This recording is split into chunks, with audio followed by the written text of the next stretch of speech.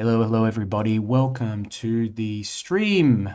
I I'm about to get started, and there were a few questions already about the stream, and uh, yeah, so um, basically, I I sort of get the stream going for a few minutes before just to check, you know, all the technical uh, issues are ironed out. Sometimes when you start a stream, the connection's unstable and stuff like that. But uh, yeah, usually takes me a little while to get going.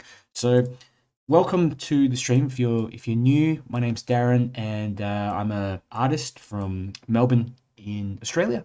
And I run some of these little sessions every Saturdays and Wednesdays to show you how you can improve your watercolors and just show you my process in terms of how I approach some you know you know different landscapes different references that i put up and a bunch of these are also uh, referred or recommended by, by some of my viewers as well so you might see something up that you recognize or something that you requested and uh, really appreciate that for anyone who's made sort of requests so um, let me know where you're watching from if you're you know if you're watching from the states if you're watching from melbourne probably early for you here in the morning uh, love to hear from you. We've got Anne Holden from Pittsburgh. We've also got Nikki and uh, uh, usual viewer Nikki, one of my one of my um, viewers over on YouTube. Good evening, Darren. Hello all. Good to see you. We've uh, got a few chats also.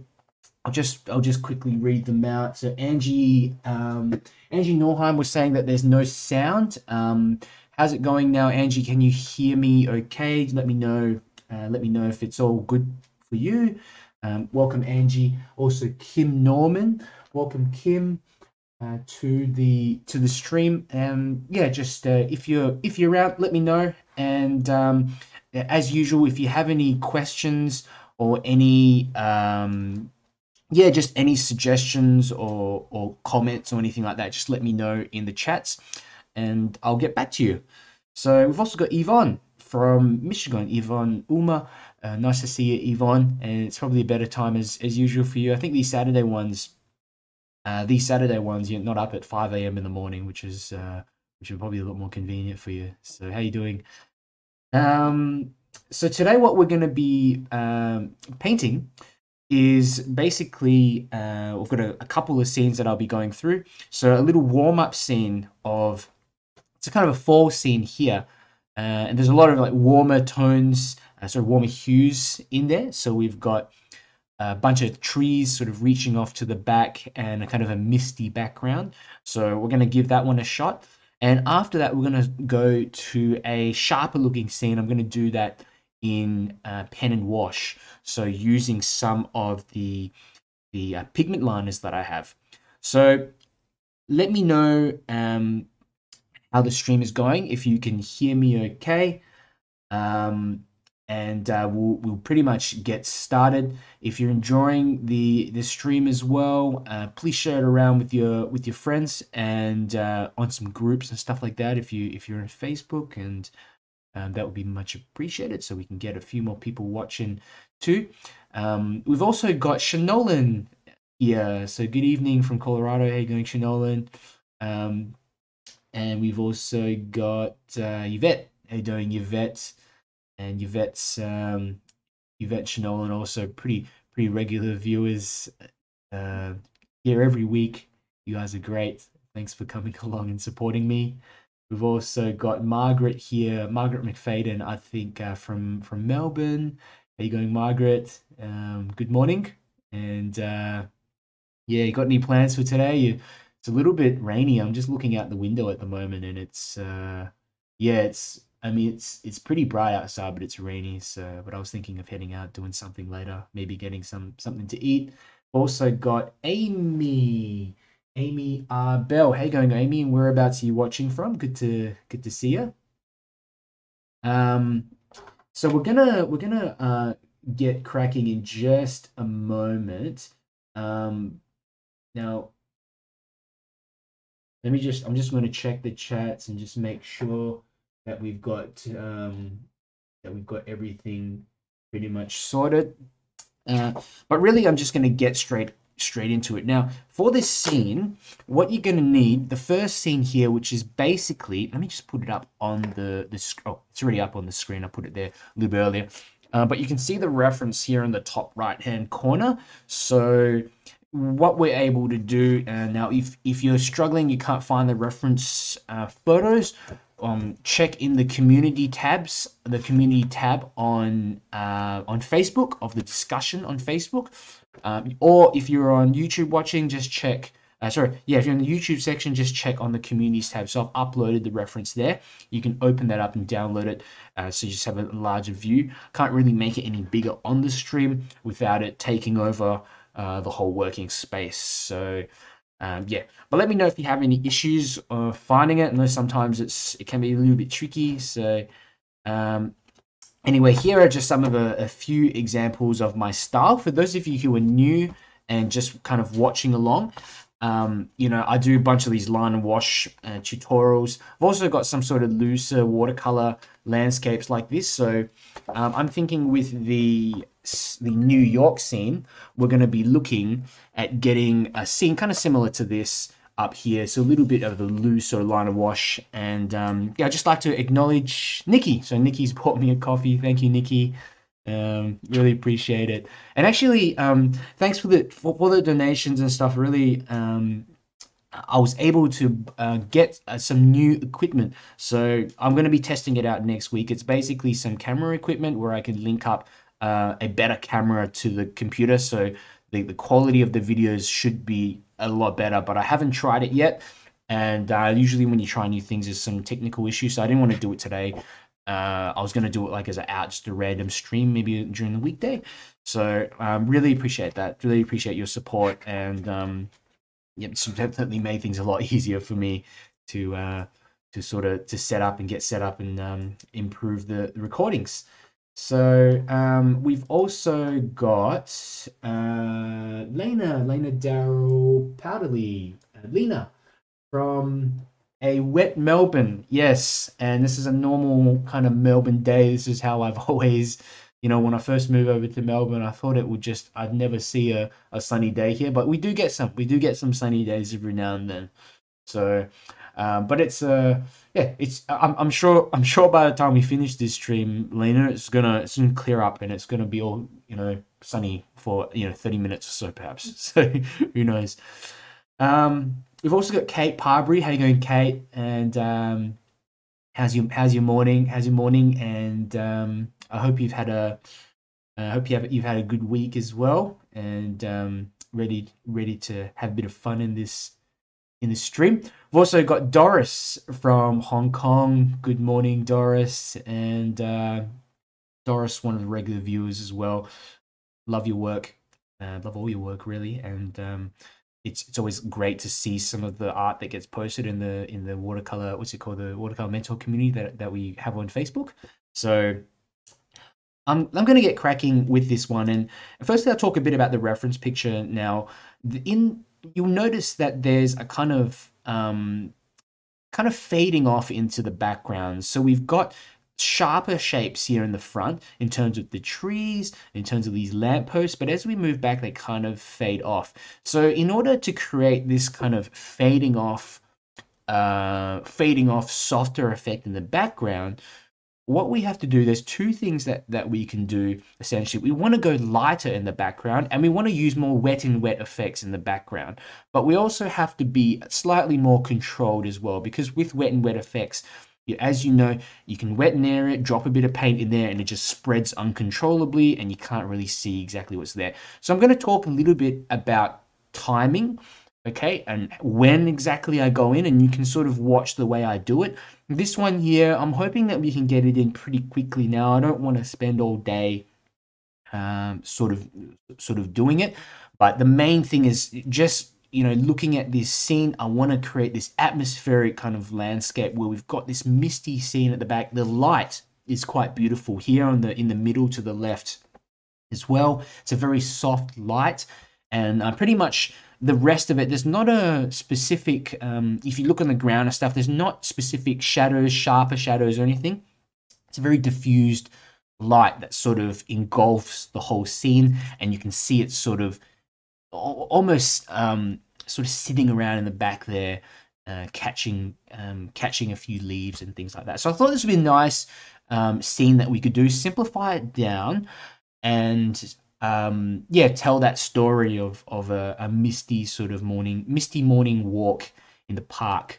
And I'm not exactly sure where this is. I, I remember when I was living in Perth, there was a place called Hyde Park, um, little park, and it and it will just this kind of just reminds me of that. And so I picked that photo because of that. Um, so first thing that I'm going to do is I'm going to uh, put in a line where we want uh, the vanishing point to be. Now, remember this reference picture, it's quite wide. For some reason, when I downloaded it, it's, it's just this size. Not, not a problem. We can change it up. The usually, you know, the aspect, whatever you call the measurements of this paper are just slightly uh, uh, taller than they are wide. So we want to put the horizon line roughly around here. I would say about a third of the way up from the bottom of the page. So um, I'm using a pretty thick sort of pencil as well. And we just want to mark roughly where that horizon line is. Even if you put in a few basic marks there on the page, completely fine. Okay, now um, there's not a whole lot honestly to draw in here, but we want to make sure that this path is is somewhat defined. Okay, so we're going to come in and if we look at that figure here right in the middle of the page, um, and you can you barely be able to see that figure's right in the background. If you look at the center of the page, right at the back in the center, there's a, a figure there just in the light. So if you want to draw a line going all the way to that center of the page there and just put a little dot even at the center of the page and then just draw that line out like that. That's going to indicate roughly where the the end of that path is. And then we're going to do this here as well. We're going to go slightly right um, right from this side of the of the figure and we're going to bring um, basically this in to get a little path um, running in like this. There's leaves and all this kind of stuff here on that right hand side. But with the path, you'll notice that it's slightly lighter. It's it's more um, kind of pale in color. Probably we can use some uh, a bit of bit of buff titanium or a bit of white sort of color in there, or just a grayed down um, lighter color in this sort of section. Okay, we've also got a, a tree that just comes out. So um, if we look at where we have this path coming in, there, I presume there's some sort of uh, water or like a lake there somewhere. This tree is, is quite a, um, you know, it's quite a central part of the scene. And I'm going to make it a little bit more, you know, certainly a little bit more um, enhanced and, and just more dramatic uh, than usual than what's in the scene. So, you know, look at the the branches and things. I'm kind of getting it to come out on the sort of a more of an angle. And this this branch here, this is going to come out a little bit on this sort of tangent like that. Um, you'll notice as well there's a few smaller branches and have a you know use this as a way to practice drawing these branches as well it takes a little bit of time to get used to improvising shapes for branches and things like that but one thing i'd recommend is hold that pencil pretty loose hold it at the end and just sort of move it around, almost let let it carry you in random tangents left and right, and that way it's going to look a little more uh, natural, um, believe it or not. So if you if you want to just create the same shape as that tree there in the reference, you can also do that, and you can take a little bit more time to draw it. So you know, for example, if I wanted to create a more straighter sort of branch that goes up like that, you know, I can do something like this and take a bit more care. But it just depends on your uh, style and your preferences. Now, there is part of it, this tree that actually comes out from the base. Um, it's an interesting looking tree. Looks, um, yeah, it's got all kinds of branches and things popping out everywhere. But here's another branch coming out like that. Okay, something like this. Um, but the main thing is that we've got this uh, main kind of trunk here so you look at it where it sort of comes down. This main area there needs to be a little more defined so that we know where it kind of starts off. Okay, like that. So this kind of begins. We'll make it come down further, like maybe about here, perhaps just closer to this to the to the front of the page, like that. Um, perhaps we'll change this up a little bit later. Um, but now we've got also some of this stuff here. Look, this is just a bush or something that comes in on the side of the path. So I don't want to indicate too much of that, just the edge of that. And, you know, we do have smaller kind of bushes and shapes, smaller shapes here in the background like that. Um, this is all going to be pretty soft and we can paint that all wet into wet later.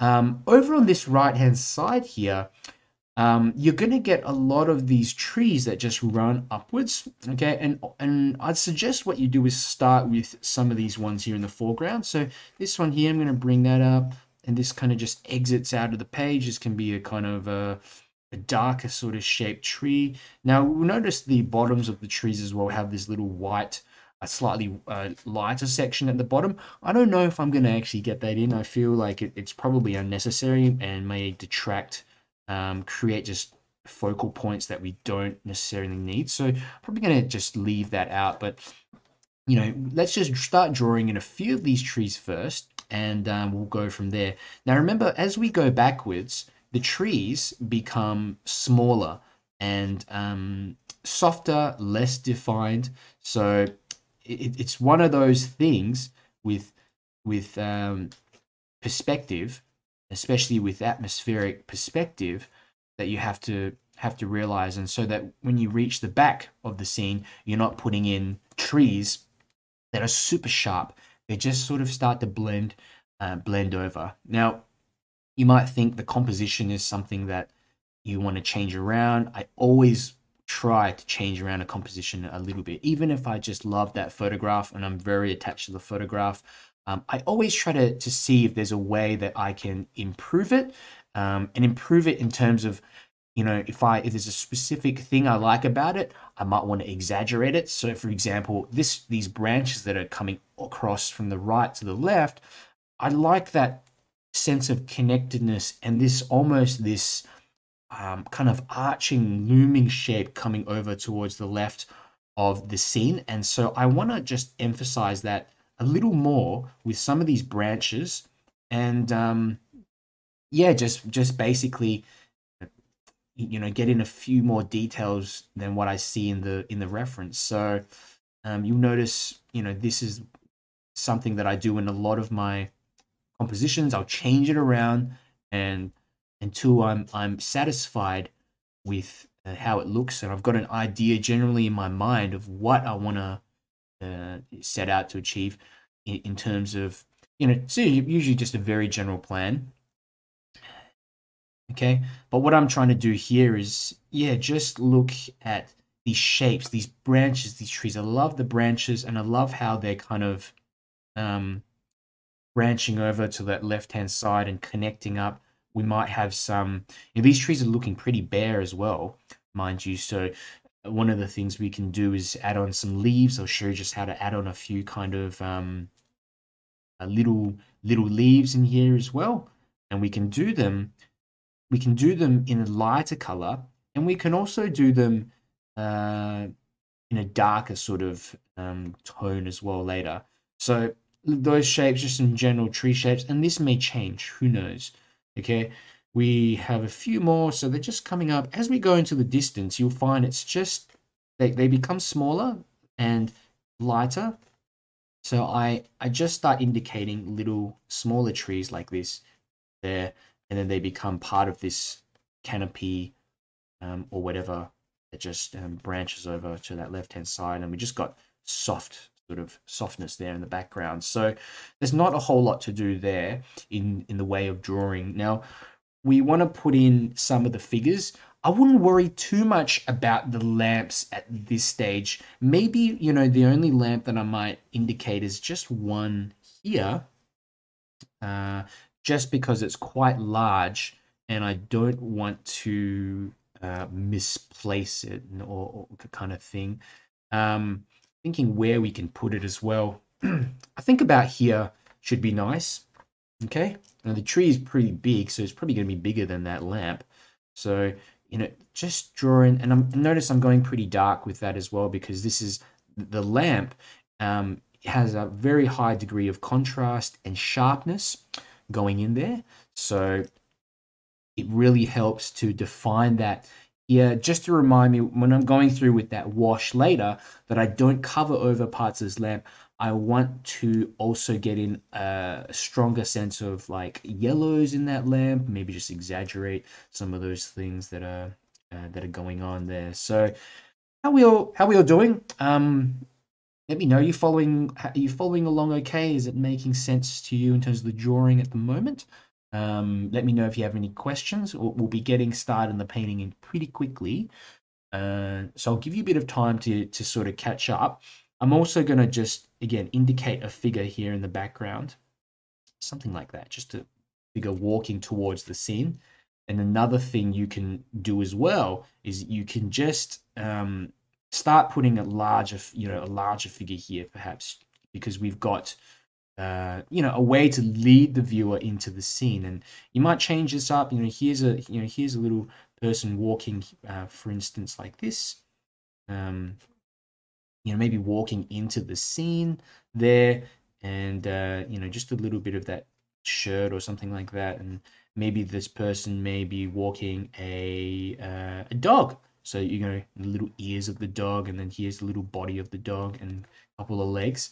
Um, there we have it. You know, it's it's certainly not a, you know, photorealistic dog or anything like that, but it's, you know, it's a dog. It's just, and for me, it's just telling a quick story of, uh, you know, a figure, a person walking through the park. Um, we do have another bench or some bits and pieces here as well. I, I don't know of how important this is in terms of the entire composition, but you know, maybe something there just to mark it out. If you have ideas of what else you might want to include in the park, um, certainly, certainly just just uh, put it in. You know, I, I do think sometimes little rocks and inconsistencies like this can also be interesting if we have some of these up the front. So, you know, stuff like that. But really, we've just got these kind of mounds of leaves because it's uh, it's autumn. So um, I'm going to have a look at the chats. We've got a, a, chat from Susan. Susan Peterson. How are you going, Susan? Uh, whereabouts are you watching from? I'm pretty sure I saw you last week. Uh, pretty sure I saw you last week. But yeah, let me know how you going with your drawing. Yvette says going good. Colors should be interesting. Yeah, uh, really keen to to sort of get get in and put in put in some of those oranges and maybe some golden colors as well. Because if you look at the background, we've got um, we, we've got these sort of golden, quite a gold area in the background, and then it just uh, kind of fades out to more orangey sort of color. So yeah, we're, we're, we're almost it's not just one really light area in the back. We've got a very light area running through this, and then we've got a lesser light area running through there, and the rest of it just sort of gradually gets darker as you get through the edges, and that creates a kind of what do you call it? A um, I forgot the the the the, the word for it silhouette silhouette type of look where you've got the edges darker, and that again aids in focusing um, into an area of the composition. So I think this photo has probably been altered a little bit by the photographer to emphasize this sort of effect. And it's something that we can also do in watercolors. We can exaggerate that a little bit more. We've got um, Siti. Um, Siti Razak says, Hello, sir. I'm from Malaysia and it's 7.36 in the morning. Love your painting, by the way. Thank you for the learning. Thank you. You're, you're uh, most welcome, Siti, and um, I'm happy and glad to have you here. Uh, thank you for coming along. And um, yeah, like I'm like like I was sort of just uh, going on before. Uh, what am I trying to what am I trying to say? But yeah, but in, for anyone new here, um, welcome welcome to the stream. And if you have questions, let me know. If you're watching on YouTube, leave a message. Love to hear from you. And yeah, just let me know a bit about yourself and how long you've been painting for. Um, maybe some of the things that you you wanna you wanna learn. Um, and if or, or, you know if you want me to go through a little quick topic as well during the live. Uh, if I've got a little bit of time left at the end, I can actually just do mini demonstrations. Uh, some people have requested in the past, you know, I want to learn figures or how to do a figure walking to the left or something like that. I can do a quick little sketch of that as well. So um, we're very happy to, to do that while I'm while I'm um, online. While you can catch me here, you know, just certainly make the most use of of um, of the time, and I want to make it worthwhile for you as well, since you're, you're watching and you're you're um you're, you're using you know your your um, valuable time here. So if there's anything I can do um, to help you with your learning, just let me know. Just let me know, and uh, I'm I'm very happy to to to to uh, try give you the answers if I know the answers. If I don't know, or if I'm unsure about something, or um, not experienced in something, I'm never going to say that I know how to do it because, uh, well, there's not a point in that, is there? So, okay, uh, fantastic. So, I hope we're all good with the drawing. Now, if you haven't finished off all of this uh, drawing, don't worry too much. Now, the main things to focus on the the the the uh, the path, the air of the path needs to be in there. A few trees here in the foreground, here and here, and maybe a figure or two. That's all you need. The rest of it is just little scribbles and rocks. We can get that all in later. So those components are the most important, and also the horizon line, of course. So let's go ahead and give this uh, a shot. And because I've already thought in my mind what is going, what I want sort of as an end result, that's going to help me to um, well it's going to make it more likely that this thing ends up looking like what i want it to look. And i always think always tell people you know the painting process starts uh, way before you even uh, put your brush on the paper before you're even um, yeah before you're even drawing you're sort of looking at the reference and you're composing in your mind. And um, if you start then then you're not going to you know start painting and run into a uh, a roadblock and, and think what am i doing uh, you know like everything well not everything but with a lot of things in life having a plan makes it more likely for you to succeed in that particular particular vision, even if it's just a little plan. So, um, let's go ahead and uh, get started. Now, I'm going to be using a, a round brushes, mainly round brushes for this. Okay, and firstly, what I'll do, let's put a bit of water in in the in the back area of the scene. Um, and Yvette was uh, Yvette's also got a little uh, comment in here uh, Yvette says, going good colors should be interesting. Maybe we can do some flowers soon. Hmm. I, I made that post and I think Yvette's very excited to do some flowers. I did some little sketches of flowers the other day and I've got a couple of I'll just show you just what I've been doing. Some of these up uh, I'll be uploading onto YouTube, so you can, if you haven't um, checked out my YouTube channel or whatever, you can have a look. And I'll upload. I'll also upload them to Facebook too, if you're on Facebook.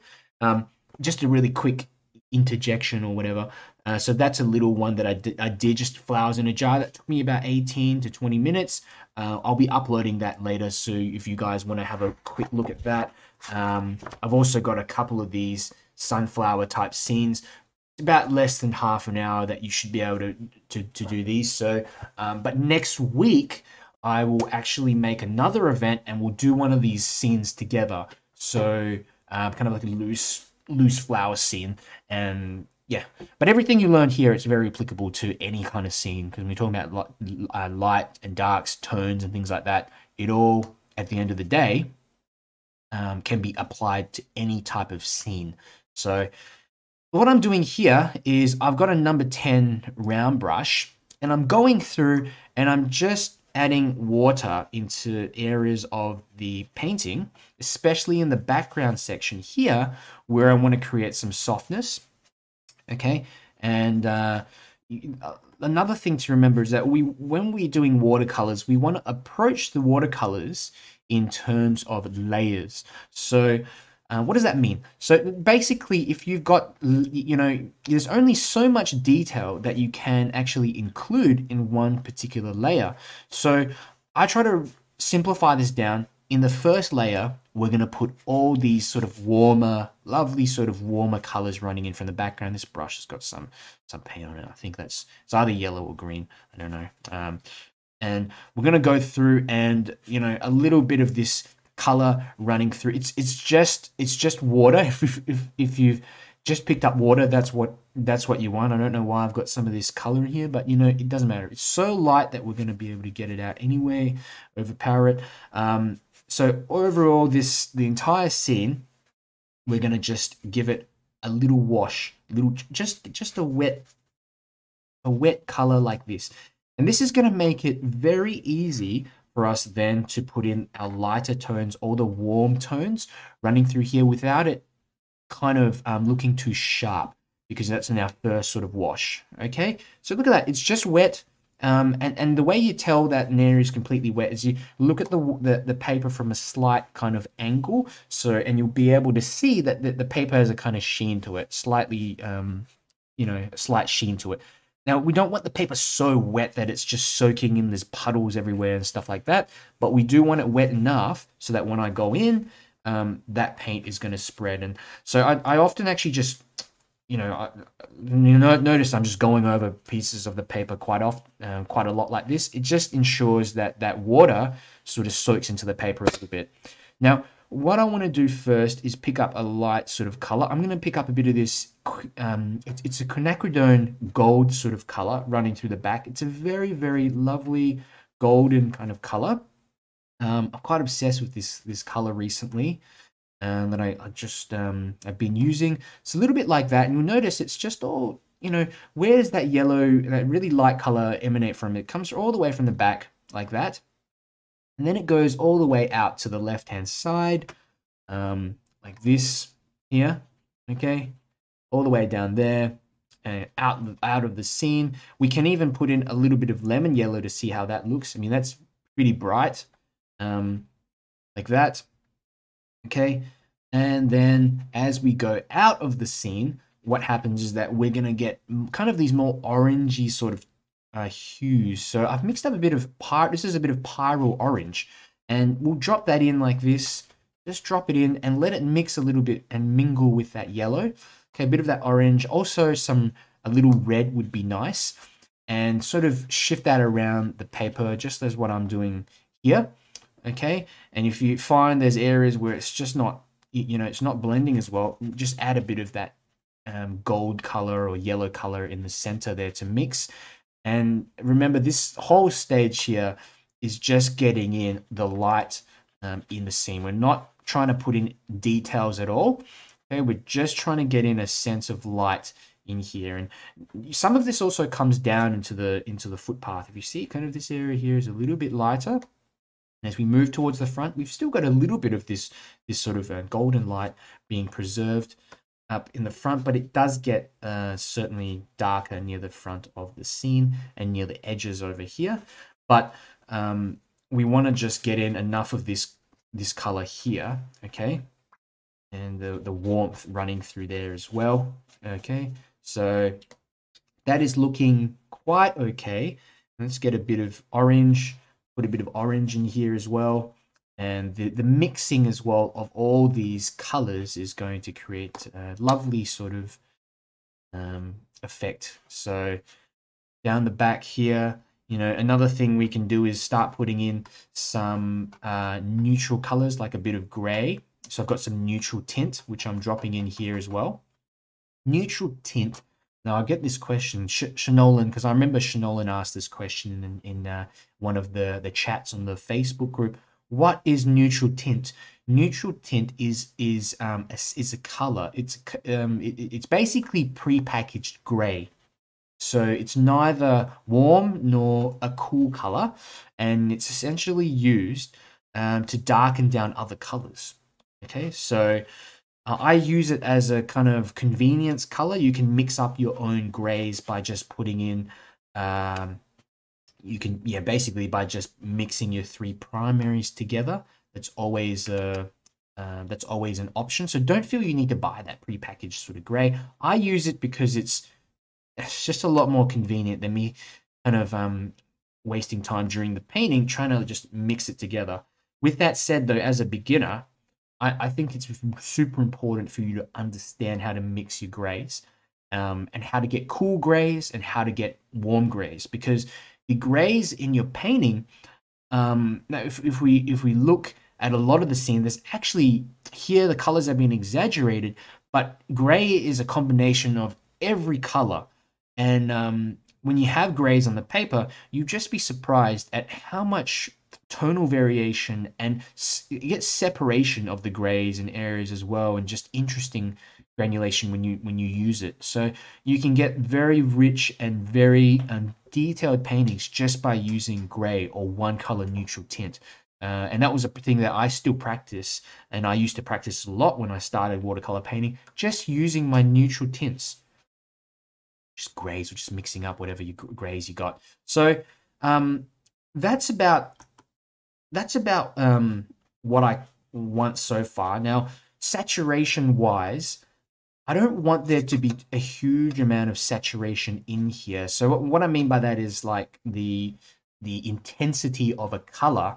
I don't want there to be too many uh, too too much intensity at this moment. Okay, um, the most intense area probably here in, in the in the background here, and maybe here a little bit in the foreground. But apart from that, we don't want too much intensity. Uh, just uh, because we this will, will start taking away from this point here. That was this is kind of the focal point. This area there, and perhaps here when we get in a few of these darker trees in there, but keep this wash very light, light to the extent that you can see all of these trees, all of this detail back here. Um, and it's and it's no big deal. Okay, some of this this color I'm putting here is a color called uh, goethite. Goethite is a kind of mineral. It's a brown kind of mineral. I'm not sure exactly. Uh, it's mined in a few places. Uh, it's also called brown ochre. And I love this color because I use it as a substitute for uh, raw umber and burnt umber. I find it granulates a bit better. Um, burnt umber and raw umber also tends to granulate too. Earthen colors granulate. Um, also, the ultramarine blue granulates pretty well. Okay, but notice how, what I'm doing here. I'm already starting to put in a little bit of this brown color, but keeping it, you know, we've let that background area dry a little bit and just a light wash and we're letting that sort of go over some of the branches okay and forming a little light um, indication of these trees. Now this is not how the trees are going to turn out later. We're going to go over with sharper shapes. However um, again the layering effect and having a little bit of this softer and lighter sort of uh, color running through it is going to make for a much more interesting composition. And even now if you have a look at it it's starting to take a little a little bit of form. Yeah, if we obviously got to use our imagination a little bit, but you can see the branches of that tree already coming out. Some of the branches for this one, and I'm already starting to work on connecting this up. Because if we work wet into wet, we're going to be able to get some really beautiful color combinations through this sort of mixing process. Okay, I've even got a bit of yellow ochre in there that's been left over, so why not? Let's put in some of that. And Again, the simplification process, let's forget about the these sort of white uh, sections on the bottom part of the tree. It's just, um, you know, I, I think it's not necessary to, to really get in what we want out of this scene. Um, you know, you might even want to start putting in little little areas of trees here in the background too. Um, little bits and pieces like uh, fading off into the background like this, just some branches and that sort of thing. If you've also got yourself a smaller brush, I'd recommend using it. I've got a rigger, a little rigger brush here. I've also got myself a number six brush. What else do I have? A number four brush as well. So um, when we're talking about these little branches off in the background here, sometimes it does um, help if we get ourselves a bit of that darker color. And I'll mix a bit of that geothite, goethite into uh, neutral tint. And, um, you know, look, we can put in a little indication here of a branch, okay?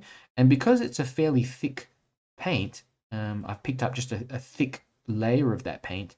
You notice as you drop it in, it doesn't spread around too much. Now you can certainly see it um, spreading around in areas, but it's not all over the place. It's not uncontrollable. So really use just a little bit of water for this so that we're not um, essentially um, overdoing it.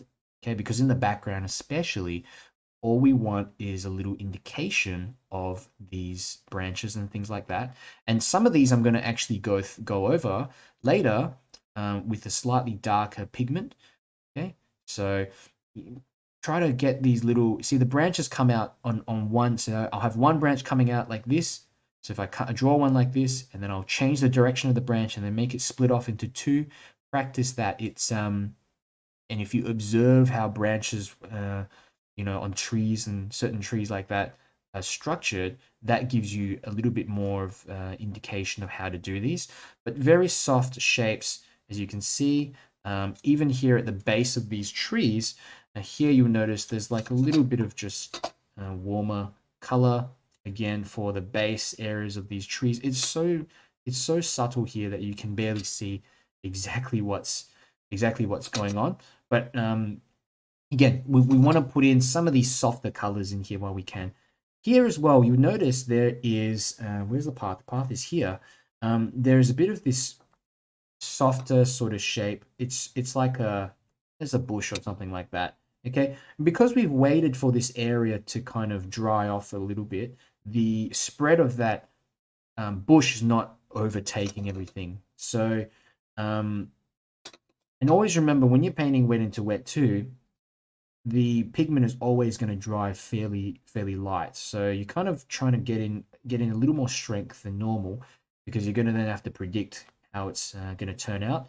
Now on the ground, I do like these bits of leaves and stuff. They have a very unsaturated reddish brown kind of color. So I'm going to use a little bit of this uh, goethite. I've got some burnt sienna here as well. What do I have? A little bit of orange okay, just to increase that saturation of it a bit. And let's see if I can just drop in a few bits and pieces here.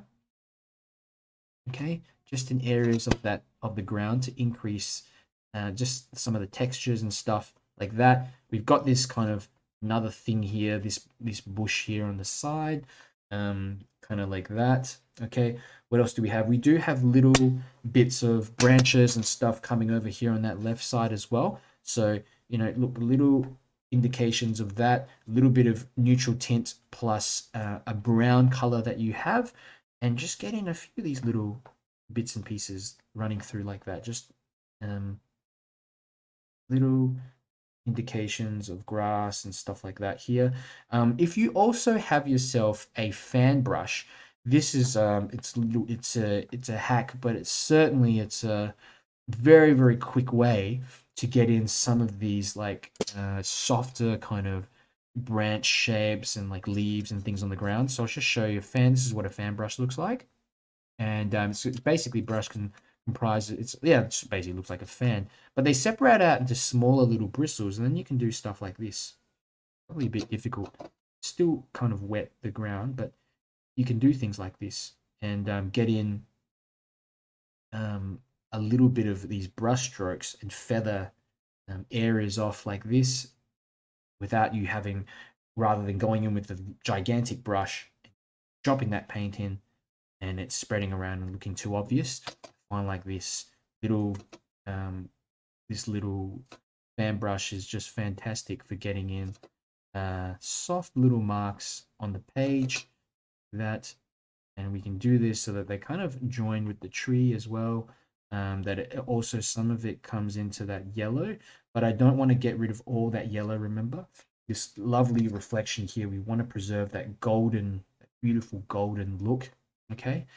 Um, normally if I'm painting this uh, not live, just on my just on my own, I'll let this dry and I'll keep on doing this while the paint, while the um, scene is drying. I'll just keep on doing this and working into it. And then I'll notice parts of it dry up here or here.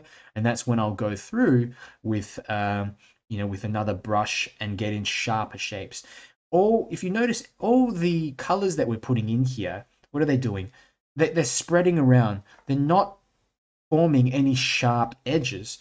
And um, so, so you need a combination of these softer, beautiful soft shapes. Okay, this is not the time to to think about control. This is the time to think about um, softness and getting in this the light and getting in a sort of sense of connection between the the foreground here and some of the trees and also some of the softer sort of trees in the background like that. Um, and then when it comes time later, what we'll do is that we'll put in uh, some some uh, harder sort of edges and shapes that have a defined edge. And what's a defined edge? A defined edge is kind of like this figure here. So we can see it's almost like you see with the pencil. You can see where the pencil ends and where um, the black ends and then not the black but the gray of the pencil ends and then the white of the paper or whatever the yellow starts. Very very defined edge like that. We need some of those in here. So that's why we've drawn the trees. We've drawn this pole. That's going to be a defined sharp edge. Um, all of these trees as well okay? All the trees here especially in the foreground there and the poles and some of these figures and that's it essentially. That's it. Um, you know, I, I, might have a very, very soft shadow that I put in while I can of the figure. And I, because the, the ground, obviously this ground is already wet, I can just do this sort of thing. Just put in a little, little bit of color here, the base of the figure. And, and knowing how this happens, it usually um, will fade off anyway, and I'll have to redo it. But, um, you know, a soft little shadow shape might be okay. Like that, just connect that on um, little with the with the figure like that. Um, another thing I might do.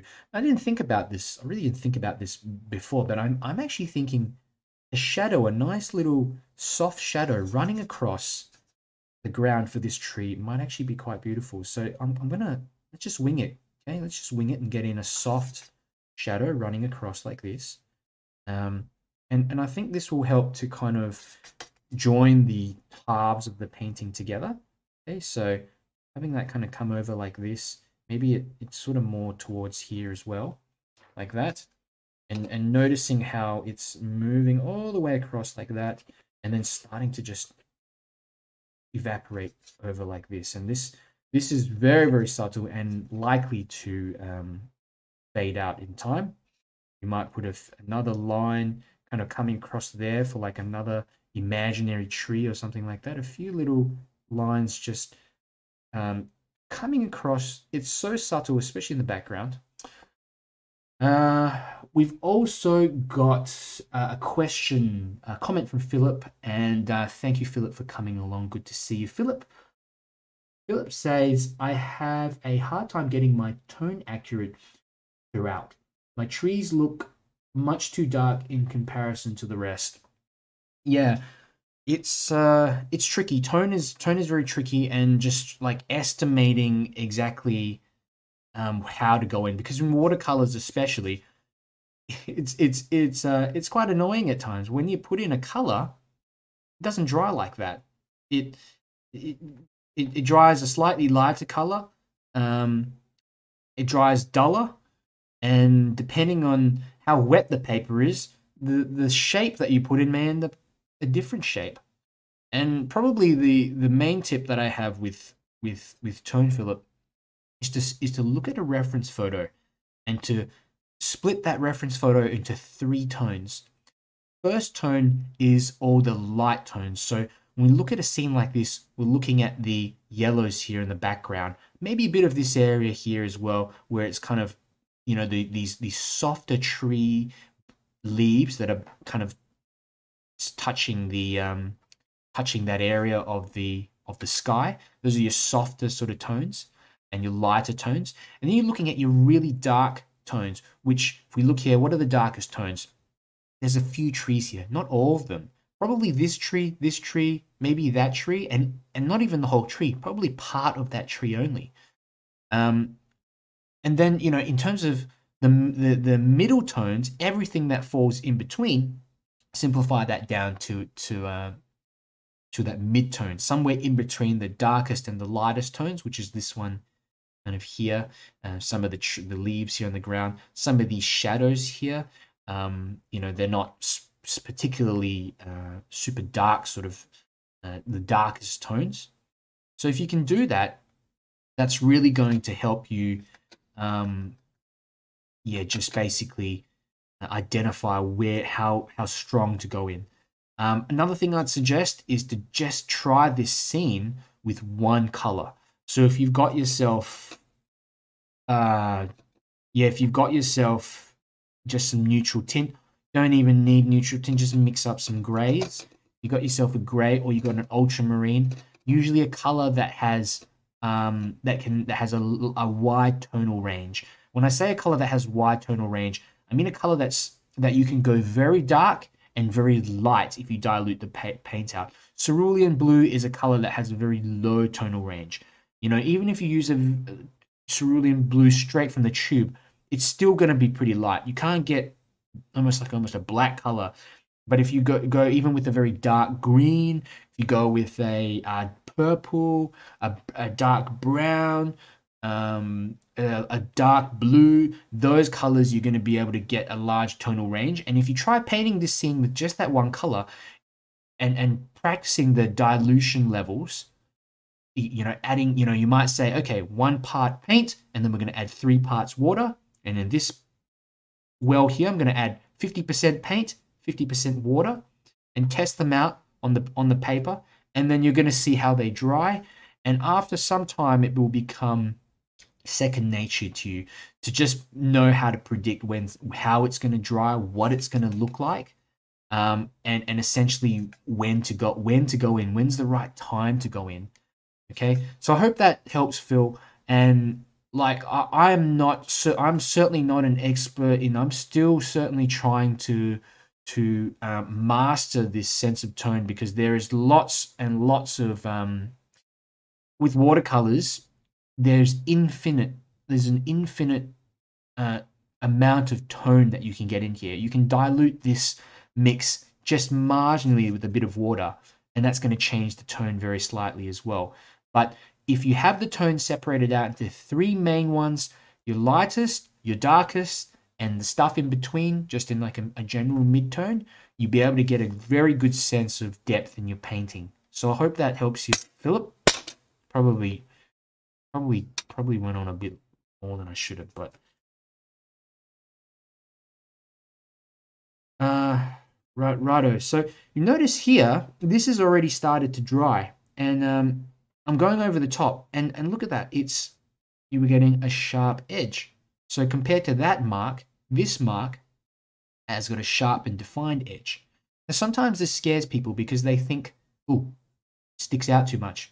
But that's that's the point. We want it to kind of stick out a little bit because if it's too soft, how are we going to be able to tell that this shape is in the foreground? So I'm using a bit of this um, Goethite color, bit of bit of brown and a bit of neutral tint in there. I'm just dropping this in. And it, this is also a fantastic time to do this because this paper surprisingly enough, is though it's pretty dry, it's not completely dry. So what happens is that we're going to get little happy, soft, wet on wet kind of things happening, and uh, just a little bit of mixing, hopefully, into the paper, so that it will create um, a softer, more uh, kind of shape in areas and then a harder sort of shape in others.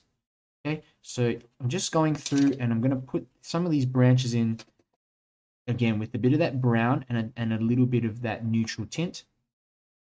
And we can redefine in areas. We don't have to keep that shape exactly. We can just go in. It's the great thing about branches. You just need to imply um, the shapes and keep on moving on. Okay, we know this tree is here in the front. It's going to be, there's going to be a high level of contrast. So that's a shape there, all kind of in one color. Okay, but you know, at the same time, you notice that I varied the tone very slightly in the tree. One of the things, one of the things that um, I struggled with in the beginning was, yeah, just trying to, yeah, I'll paint everything in with one tone, even the trees and stuff and you'll notice if you look at the tree, there's like actually lighter parts in the tree, there's darker parts. So you, at times you're using, you're still going pretty dark into that tree, but at some points I'm just adding a little bit of water here and there to mix it up, change it, change it slightly, okay? So coming up there, look, just a few little branches up the top there, coming up there, there, there, and, and some of this now starts to join onto the stuff here on the right hand side as well. Okay. Um, we've also got a bit of uh, thickness here on that top left-hand corner. And I think perhaps some color in there would be nice. Just a little bit of neutral tint or something. Again, just to create that silhouette-like effect. Okay, in in um, in some of in the edges. Okay, and this could indicate some leaves or something. Yeah, of this of this tree. And we've got this all wet and wet. Remember to cut around this little lamp as well, because we're not gonna we're gonna leave that a bit there so I can get in some light. So very, very light marks um, surrounding the branches, but we're not but be careful not to eliminate the detail on the branches okay the sharpness of that okay uh, i'm just trying to just darken off in the edges there to create a silhouette like effect and then um, draw more attention to this area this focal point here in the middle. Okay? So some of this stuff yeah like it's just touch and go touch and go. Um, the scratchier it is honestly the the better. Okay? A little bit there. This i don't know what this this is kind of dried a bit funny and it looks kind of like a sun or something here in the distance but it's not really meant to be that way. Um, some more this geoth uh, goethite or whatever dropping that in here uh, and then i'm also may pick up a little bit of orange and just drop that in as well just to increase that level of contrast a bit uh, uh sorry vibrancy in there a little bit coming down here, we've got again just this section of, uh, you know, connecting it onto the tree there, like that. And then the, the tree sort of starts off maybe here or something. Yeah. And then on the ground, you know, look, a little bit of dry brush. Okay. Little, little bits of dry brush using the, the side of the brush like that. Okay. But we're joining this on creating a bit of this darker shape here. Um, I will need more darks in this region as well. It's not, not dark enough like that. Okay, uh, there, there. You notice as well in some of these trees, these little branches have just melted around into the distance a bit. So we can re we can bring them out a little bit. We can just use a bit of this rigger. Um, if you've got a rigger, just to bring out a bit of this detail here. Like um, I don't want to overdo it, but just some little scratchy bits like that there. Okay? There. Something like that to just create a bit more interest in here. Um, and, and remember, don't don't worry about joining things up as well. Let it let it uh, mix and and uh, do its own thing there. You know, bit of this bit of this uh, fan brush as well, and we can get in some more bits on the ground and indications of these leaves. You know, I can put a bit more orange in there. So this orange is now creating um, some more you know, indication of these these foliage areas and we can actually see in the photograph there's you know there's so much there's so many of these little leaves and things here and we're not going to sit here and paint them all so this is the only way that we can do it quite quickly um, all in one go let the brush skip over the paper in areas um, you can also get a, a, little tissue at times and I'll pick up bits and pieces like that um, so we'll go across this side and I'm going to get the rest of this in pretty quick and um, yeah, normally I'll, I'll go a little bit slower, but uh, I just want to get through with this. So here we go. We're going to put in this tree. It's here. It's going up here. Um, and hopefully we should be finished in about, I'm anticipating roughly, roughly 10 minutes. Uh, so, you know, this tree's coming in from the side. I might might actually put in a larger tree shape here. And, and look at that. I like this. I like this um, what do you call it? I like this very dark sort of shape here and then having it uh, skip a bit like that. So we've got some wet on dry kind of effects like that. And then this will just kind of perhaps disappear out the scene. I'll, I'll, I'll uh, reassess later to see what I want to do with that. Um, like that. Okay, there's another tree. It ends potentially about there. Uh, what else do we have? I know I've drawn another one here, a bit. and so you can go in there and just again pick up that dark color, um, just a brown color really. Bring that up here and here. Okay, like this, and uh, notice there's all kinds of stuff going on in here. There's even little branches and stuff, so you can certainly take your time and draw out some figures and connecting shapes and stuff like that through here. It's a row of trees, remember, so it's not certainly, um, you know, it's not the most, you know, it's not the most exact sort of shape that you'll be doing. This is the way I do it. I sort of let a bit of white show through, kind of look like it's catching the light a little bit. And then we'll try here. You know, that's another one. A bit of brown and a bit of that neutral tint. And we want, like I was saying before, that kind of interconnected shape of the, le- the, the branches coming over. And it's good because some of this hasn't dried completely yet. And you can already see now there's the, the shape of these trees and it's kind of creating a bit of a silhouette like effect considering we've darkened around the edges as well. Okay, some more dry brush in here, connect up some of those shapes and, and again, um, exaggerate that silhouette effect. But be careful that we're not eliminating all the details for these branches. We need sharpness in areas of, the, of, of this, otherwise it's going to all blend and look like nothing. So uh, it takes time. If you haven't, if you don't get it by the end of this session, um, don't feel like you're falling behind or something like that. It's taken a really long time to get to this point where I feel, generally speaking, I I know how something will turn out um, after after uh, I put the paint on, and I, and you know and you know what? I'm always surprised still. Certainly always surprised. It always just does stuff that I'm not expecting, which is a blessing and also a curse.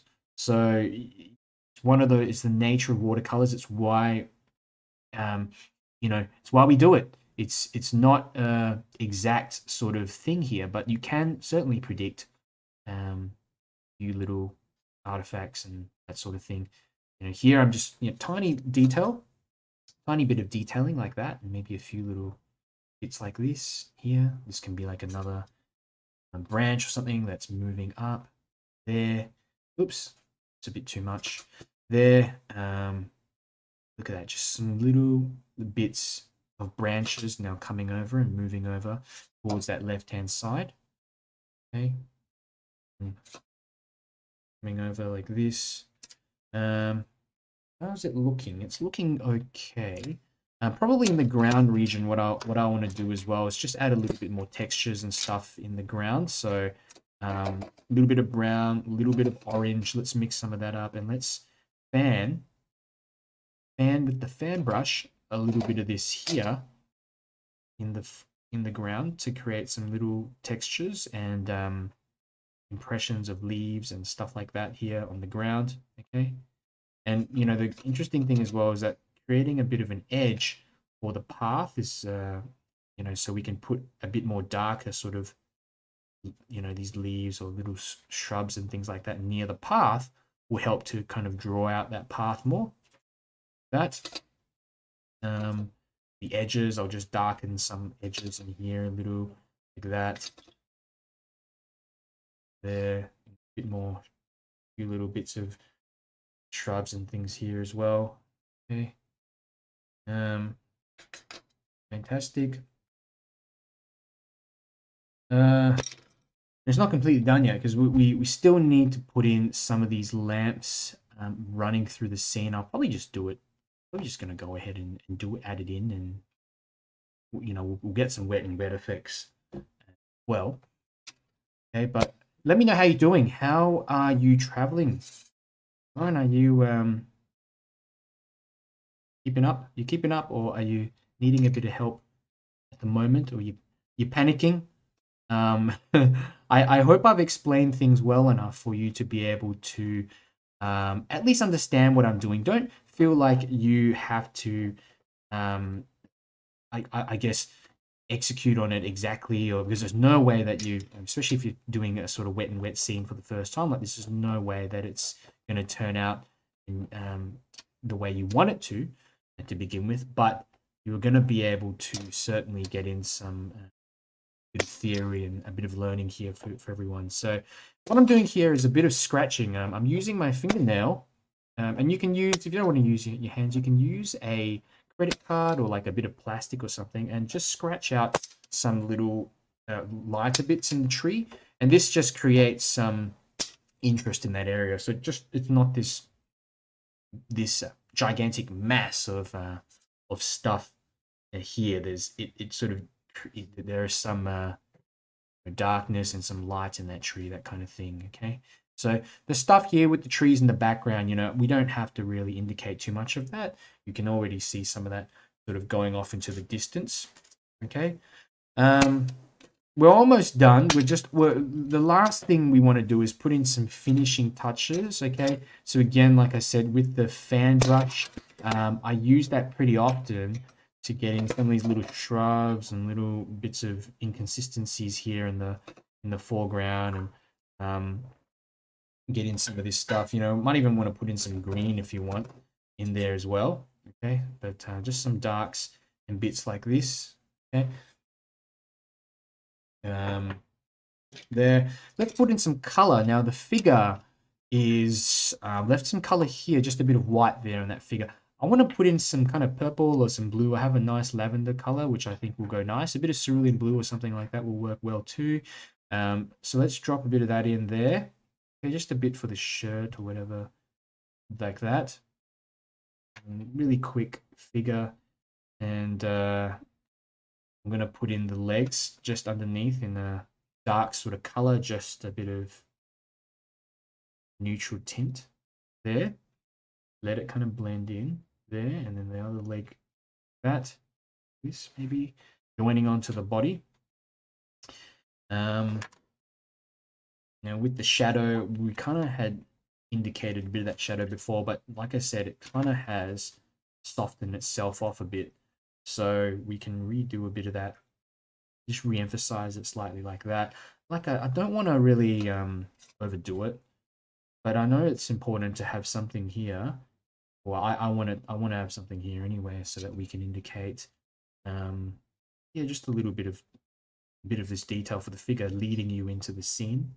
Okay, the dog there, so we can um, we can put in a bit of uh, oops, put in a little bit of color for that dog um, as well, just a bit of a little bit of neutral tint, maybe a couple. Just put the ears in like that, the body there, legs. There you go. Kind of looks like a dog, like that. Um, and then a bit of color for the head. So I'm going to go perhaps with the, I'm going to use that same sort of brownish neutral tint color and just get that in like this, okay? Just quick indication. It's kind of, if you put the hair sort of covering the entire back of the, of the head like that, it looks like the figure's walking forwards, which is what I'm trying to imply. Um, you know that kind of thing you know there's a few other things you can do like try to put on like a bag or something a little detailing but i think that should do the trick i don't want to overwork it um, and then we've got a figure here in the background and that's this figure's going to be a little lighter because they're further back in the distance so little just a light little wash color like this and it's really a brown that i've used and get the head in there and then put in a couple of legs this okay and then we've got a figure off in the distance. And uh, we've got a figure here in the foreground. Okay, those are the figures done. Now what we're going to do is start putting in the lights, a few of these uh, lamps, and I like, I really like this idea of having a bit more light in this section. So I'm going to just, just wet this section of the lamp, lift off the color, and I'll get it pretty, pretty sort of, pretty sort of white in that area. And let's put on a bit of, I usually use a bit of this Naples yellow or something. Uh, maybe a, a, let's see, put a bit of yellow in there, a bit of brightness, this soft kind of yellow color. Um, I don't want it to overtake the entire scene, but um, just a little bit of that, that, and then dab it off. Okay, a little bit of that yellow, and um, I'll leave that to kind of dry off a little bit. Another thing you can do around the edges of it, you can sort of scrub a little bit and be careful. Um, can sort of stuff your brushes up a little bit if you do this too often. And around the edges of the lamp, you can scrub and lift, and this will create um, maybe a slightly slight halo effect. This takes a little more time than what I'm doing here, but you get the idea. It's just something that you can that you can do. Uh, soften a bit like that, play around with it there.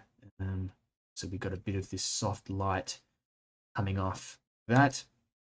Okay, once you're happy with that, uh, basically just move on.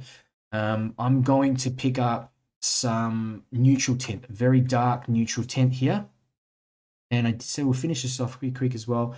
And we're going to put in firstly the little stem of the uh, of the lamp like this, and and coming down like that, and I'm bringing that all the way. Look at how dark that paint is as well. It's very very dark, and I'm trying to just dry brush this in as well. I I do find that, that just a bit harsh, so um, we can skip a few areas and just drag that down so that it kind of comes in front somewhere here okay, somewhere there, and then it maybe just melts in the ground. Um, we do have a few more. There's another one perhaps here. Okay, so we can draw in an indication of this lamp post like this. Okay, coming down and disappearing roughly there. Um, we might have another one here. And this is where we also want to just, yeah, be very careful that it's not too dark off in the distance because um, as we go back into the background, like I mentioned before, the lines um, get yeah they just they just become softer. And if you look at the lamps all the way in the back, it's hard to see them. They're just covered by the mist. Okay. There we go. So, I mean, that's pretty much about it. And of course, we've got to put in the top parts of some of these lamps. I'll do them real quickly, just a bit of this neutral tint, um, bit of this brush work, just a little indication like this. I'm going to get a, a really, dry brush strokes as well. There we go, that's one. Another here. Got a smaller brush, that's probably going to help there. Um, we've got one here. Okay, less sort of fiddling around is better. There's that, there's one there. Like that. Okay. Um, you might, because this one's closer, you might want to indicate a bit of yellow in there like that. Not a huge deal, to be honest. There's already yellow in the background, so it kind of implies that. And then for this one in the front, I've left that a little bit because I know it's, you know, it's still wet and still ready to dry. So, but, you know, we can drop in some color in there, outline some of the um, details on the edges of the lamp as well and maybe a bit in here. I'd probably if i were you i would probably just wait a little bit longer until later to get that one in. Um, but some of this is okay. Around this time it's all pretty much um, it's almost dried so you're going to be okay. So look this is the um, this is the gist of what i'm i'm doing. And later on down you know off camera as well i'm going to probably go into this and draw out a few more details in the trees a bit more darkness in areas but apart from that, um, this is this is it. Just our little uh, a little practice sort of sketch. I hope that's been been helpful. Um, I'm gonna go on now and we'll do another scene. We're gonna do a line and wash scene. Uh, let me know how you do. Let me know how you're you're doing in the chats. There's been a few more chats. Um, Philip says, uh, "Great tips, fantastic." And there's also from Pat Kennedy from Derry City, Ireland. Awesome. Um, yeah, I don't think I've had any viewers from Ireland before, but but welcome. And um, how did you find my channel? Uh, but but very very good to have you. here. I hope you're enjoying. Hope you're enjoying the stream. Sandy, um, Sandy Russell's here as well. Says hi, Darren from Minnesota tonight. Usually Florida, but visiting my daughter in the snowy northern well, um, you know, like I, I don't know too much about don't know too much about uh, Minnesota, but I have watched, you know, I have watched a couple of like this show called Fargo a long time ago, which was based in in I think a town in in Minnesota, and I I heard that um, people in Minnesota have an interesting interesting sort of accent and culture. I was reading about Minnesota Nice. Uh, yeah, that just was kind of interesting for me to to, to look into. Apparently, uh, there's a higher proportion of Northern European descendants living in, in Minnesota. I don't know. This is just what I've this is just what I read, but um, yeah. Anyway, uh, let's have a look. We've got uh, Yvette Paul says love. Awesome. Uh, Look, this is a this is a pretty simple sort of sort of painting, and certainly it by you know by all means it isn't it's not like a masterpiece or anything like that. But um, for for you to sort of practice some of these wet in wet effects and learn how to control um, your watercolors better, I think it's uh, it's certainly helpful. So I will give this a little dry off. I'm going to start on the next one, okay? Um, but if you have any questions and if you have any comments, I'd love to hear from you. Just leave them in the leave them in the chats.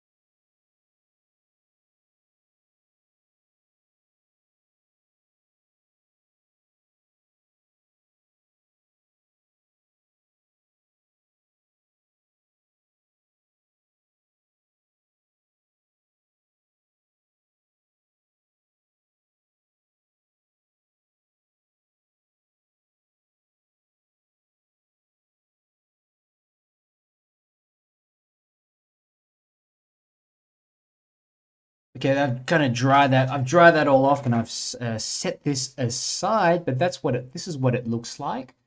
Okay, and uh, yeah, I think the the the general technique that I've used there, if you especially if you work a little bit faster, um, if you're looking at creating some Christmas cards or some little scenes that you can paint uh, fairly quickly using most wet in wet watercolor techniques, and then a layer of these sharper shapes, you can certainly get an impression of a lot of paintings um, that way. So I hope that was helpful. The Philip says, uh, let me have a look.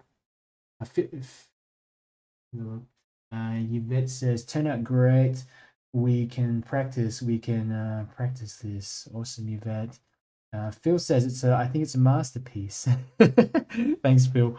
Um, I think I'm a little harsh on my work, so as as we all are with with artists as artists. Um, but you know what? I find always like to find something that I um, that I enjoy. You know that that I appreciate in a in a painting. Like for example, with this one here that I did before, I like the left hand side, but I think I stuffed this right hand side. I just put too much in there, and I was just quite haphazard going in there without thinking too much, right? And all this stuff I kind of added in and made up. Um, so sometimes it still pays off because at the end of the day, like I like the composition of this, and if I might redo it again and think, hey, look, I'm not going to make those poles as dark. I'm gonna I'm gonna add more detail to the figures. Perhaps I'll make the ground more level. Um, might lower the horizon line a little bit. So there's a few things you always learn, and with the sketchbook, that's the nature of it. You know, you're not there you know, if you end up with a masterpiece and people and people like it, that's that's just a bonus. Um, there's uh, also uh, let's there's a few more comments in here. Nikki is saying um, need to sell my prints on Etsy or something. Yeah, I haven't really tried to sell my work, Nikki. It's like I put it on, I put it onto Redbubble. Um, yeah, and for those of you who are artists looking to uh, know how to like you know just a, a quick entry level way to sell your work as prints. Uh, Redbubble is a is a decent place to start off with. Um, I probably recommend, especially if you're concerned about the intellectual rights of your of your work just do it probably just do it yourself it's a lot more work um, but when you put your work up on sites like redbubble uh, where else Society6 and stuff like that, they actually own the the the the right to to sell your work. Um, this is it's, quite a it's quite a legal. Uh, funny sort of situation. So look, I, I'm not for myself. I'm not too concerned at this moment, but I know like Etsy is probably a better place, like you were mentioning, um, Nikki to, to to sell because you're the one that actually owns the the work and especially if you're selling your own prints and printing them out yourself or going through another company to do it rather than a print on demand company. Uh, Philip says he does uh, check description. Thank you, awesome Philip. Um, Yvonne says Fargo is in North Dakota, Minnesota. is my home state. Oh wow, that's so cool. Um, yeah. Yeah, I remember watching that was the movie Fargo was the movie by the Coen brothers back in the I don't know how long ago, 90s? And then they created the TV series and I watched it. I don't really watch much TV uh, to be honest, but I found that to be such a witty, dark humor and uh yeah, kind of the witty dark humor crime combination thing which I like. So, uh yeah, interesting. I never knew you were from Fargo, uh Yvonne tell me a little bit more about how it was like growing up there and the culture there as well. I love to hear about the culture of different places and how people interact with each other um, as well there. So there's a few more uh, chats I'd just like to acknowledge. There is Lily, Lily Fuente, Fuentes. Um, really natural and beautiful. Greetings from Melbourne, Australia. It's morning now and I'm cooking, but trying to watch. Wow. Um, that's that's what I call multitasking, Lilia. I sometimes do the same thing um, when I'm doing a bit of admin work or I'm like uh, you know admin work on, on the on the group and just approving posts and things like that. I'll put on a podcast or something, and you you kind of amazed sometimes at the stuff that you pick up and learn. Um, sometimes it's all just a blur and 30 minutes goes by and you're like oh what did i listen to but then you remember a little snippet here and there. Um, you're welcome, Lily. And she's asking, Lily's asking, could I watch it later? Yes, you can watch it later. All these are recorded and available after. They're probably easier for you to find on YouTube. On Facebook, they are on the Watercolor Mentor page under the videos tab, but sometimes they kind of get lost in there. But um, yeah, you can try both. Um, if you guys haven't checked out my YouTube, you, uh, have a look at that as well. It's organized a little bit better. I got playlists and probably more videos on there because I only started uploading to Facebook a few months ago when I was streaming. So yeah, um, fantastic. Uh, I think that's pretty much. Um, I think that's pretty much about it. Uh, let's have a look. There's also Susan, Susan Kane from Central Oregon. There's also Keith Richardson. Keith Richardson's asking, is it line wash just now printing reference? Yes, the second the second scene that we'll do, I'll just pop it up on the screen here. I mean, yapping, yapping too much. We're going to do this one in line and wash, okay? In, with some pigment liners. I'm going to grab some of these off the, the side, and and um, let's aim to do this within an hour or, or less. Yeah, I don't want to. Gonna kind of hang around for, for, for too long and uh, try to get in all the details of this. I'm gonna uh, we're gonna we're gonna work on getting in a kind of impression of, of the scenes. So a few more pens. Now these are some pigment liners. I'm using a 0.5, a 0.8, a 0.1 liner. I've also got these sort of these new liners which I really like. They kind of have a flat edge, flat edge um, pigment liner. Isn't that interesting? So um, certainly certainly I've been trying to use these a bit more. I, I thought they were a bit of a gimmick, but if you look at one of my previous uh, sketches, this one here, I've actually used that the that pigment liner to get in some of these details on the windows here with just four strokes for those windows and you know because it's got a squarish sort of shape it's really made quite a bit of definition here and um, I, will try to use it on this one as well okay so uh, fantastic. Um, um, um. Let's let's give this a, let's let's give this a crack, guys. Uh, just double check what. There's been a few more questions as well. Just quickly, I'll just quickly um, acknowledge uh, some of the chats here on Facebook. Um, let's have a look. Susan, I think I might have acknowledged you from from Central Oregon. Thank you for joining, Susan. Um, Kim Kim Norman says, "I love tips on how to sketch more loose. I get too rigid." Right, I'll go through that here in this next one, so that will just going through my thoughts on how I sketch. So that might be easier to, to you to follow along rather than explain it now. I think explaining while doing probably going to make a bit more sense to you. Won't the pencils pencils show through the watercolor a bit? Veronica asks. Um, yes, the pencil will show through a little bit but um, yeah, like I, I tend to like that now. It actually creates a, a, a, kind of like a bit of detail or uh, yeah, like a, an edge on areas.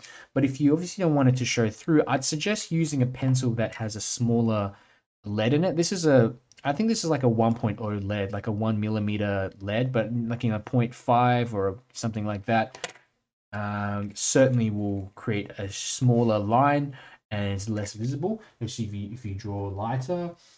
Um, Alice says I have a bad connection. Okay. I hope you can view this all right. Still available afterwards anyway. Alice Linda says, thank you for using the fan brush. Love the strokes, lines it made in your painting. Yeah, the, fan brush is such a uh, such a shortcut, such a shortcut, and um, in getting in so much detail with just a few little marks. It's like having five little brushes and just getting five strokes. Obviously, those strokes are going to go in the same direction, but that's why I sort of I put one stroke in one way, and then I'll sort of go up and down in different directions, left and right, and that will sort of create a, a bush-like shape or something like that. There, a bit more, a bit more uh, variation in the strokes because you don't want all the same strokes all the way in your scene. Um, and uh, Iman, Eman, you said I love the pictures more uh, without the black shadows. Uh, uh, yeah. Do you mean like? Do you mean like you you pr- you like it more without the shadows that I that I've added, um, or you like the? Uh, I don't know what I'm trying to say, but yeah. Um, I kind of liked it as well. Like when I started off just with like a few softer shadows running through the front. Um, but you know what? You can always retry, do it with without shadows and see what it looks like. Um, let's have a look. And uh, Linda says shadows don't look as stark and dark now that you've added those tall and dark trees. Yeah, um, everything is in relation to each other. So when you're drawing, when you're painting, you know, it, when you've only got all the really light colors, and then suddenly you go in with some uh, a slightly darker tone, that tone looks super dark. But that's because we haven't put the really dark uh, bits in different painters approach it in different ways. Some go for light, the lightest tone, and then they do the darkest tone, and they do the middle tones. Some painters actually start with the middle tones, and then they go their lights, their super lights, and their darks. So um, I don't think there's like a certain way to do it, but I I'd certainly with watercolors start with the lighter tones because I find that's easier to get in a big wash in the background, and um, yeah. So uh, let's have a look. So, so James uh, James Melton's a few here. James says I joined in something that has helped me uh, to identify tones in my projects is a grayscale that I've made. I never thought about it using on reference photos. Yeah, um, grayscale is a, a great way to to learn tone and to practice. Um, and Martha's fascinated with the fan brush. Margaret says, "Love what you've done, Darren. I want to take my time. I bought some new paper to try it on. I'll post it up when I'm done." We'd love to see what you what you come up with, Margaret, and um, what you're showing for the layers. Uh, Mary Jones from Ontario. Mary's also asking what paper you're using. So I'm using 300 GSM uh, cotton, 100% cotton watercolor paper, which is 140 pound for you guys in the states. It's the usual usual uh, one that I that I use. Um, fantastic. Righto, so uh, I'm gonna um, I'm gonna get cracking on this one, and we're gonna start with the drawing. Okay, and I'll bring up my reference picture. Just have that here on the side. Now, the cool thing here is that we've got so many options of what to put in. We've got um, buildings running around everywhere. One thing, one thing though that I, I really want to do is I want to get in a sense of shadow uh, running across this scene, a sense of light and dark.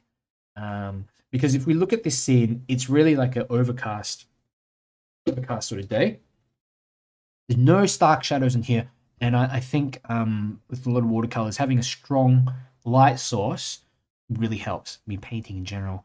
So I'm going to put this one in, and I'm thinking we'll get shadows running from the buildings to the left to the right hand side, and then that way um, we can get maybe the shadows running over the middle, uh, over the top of the cars and stuff like that as well. So uh, these decisions are always best made at the start, just sort of thinking how you can improve the scene. And uh, I'm going to get started. Let me just move this over a little bit so I can kind of. Now, 0.5 pen, what we want to do is start putting in that general horizon line. So I'm going to put it in around about here. Okay going across. It's about Um, actually, I'm going to put a little bit, little bit further, further down. Probably about a third of the way up would be better, just so that I can get these taller buildings in. Okay, third of the way up. Uh, you know, I've drawn that line in the wrong place, but it doesn't matter because once we get all the buildings in, you won't be able to see it. Okay. Um, the interesting thing as well is that we've got some of these um, crossing marks here in the ground, which we can put in later. I think they're a great little addition to a to a scene. Uh, but yeah, we'll go in. There's the there's the there's the vanishing point in the background, and then of course, you know, a, a very simple one point perspective where we've got a vanishing point here, and then a few lines emanating from that vanishing point, um, going towards that vanishing point. I mean, like this, and then a little bit like that.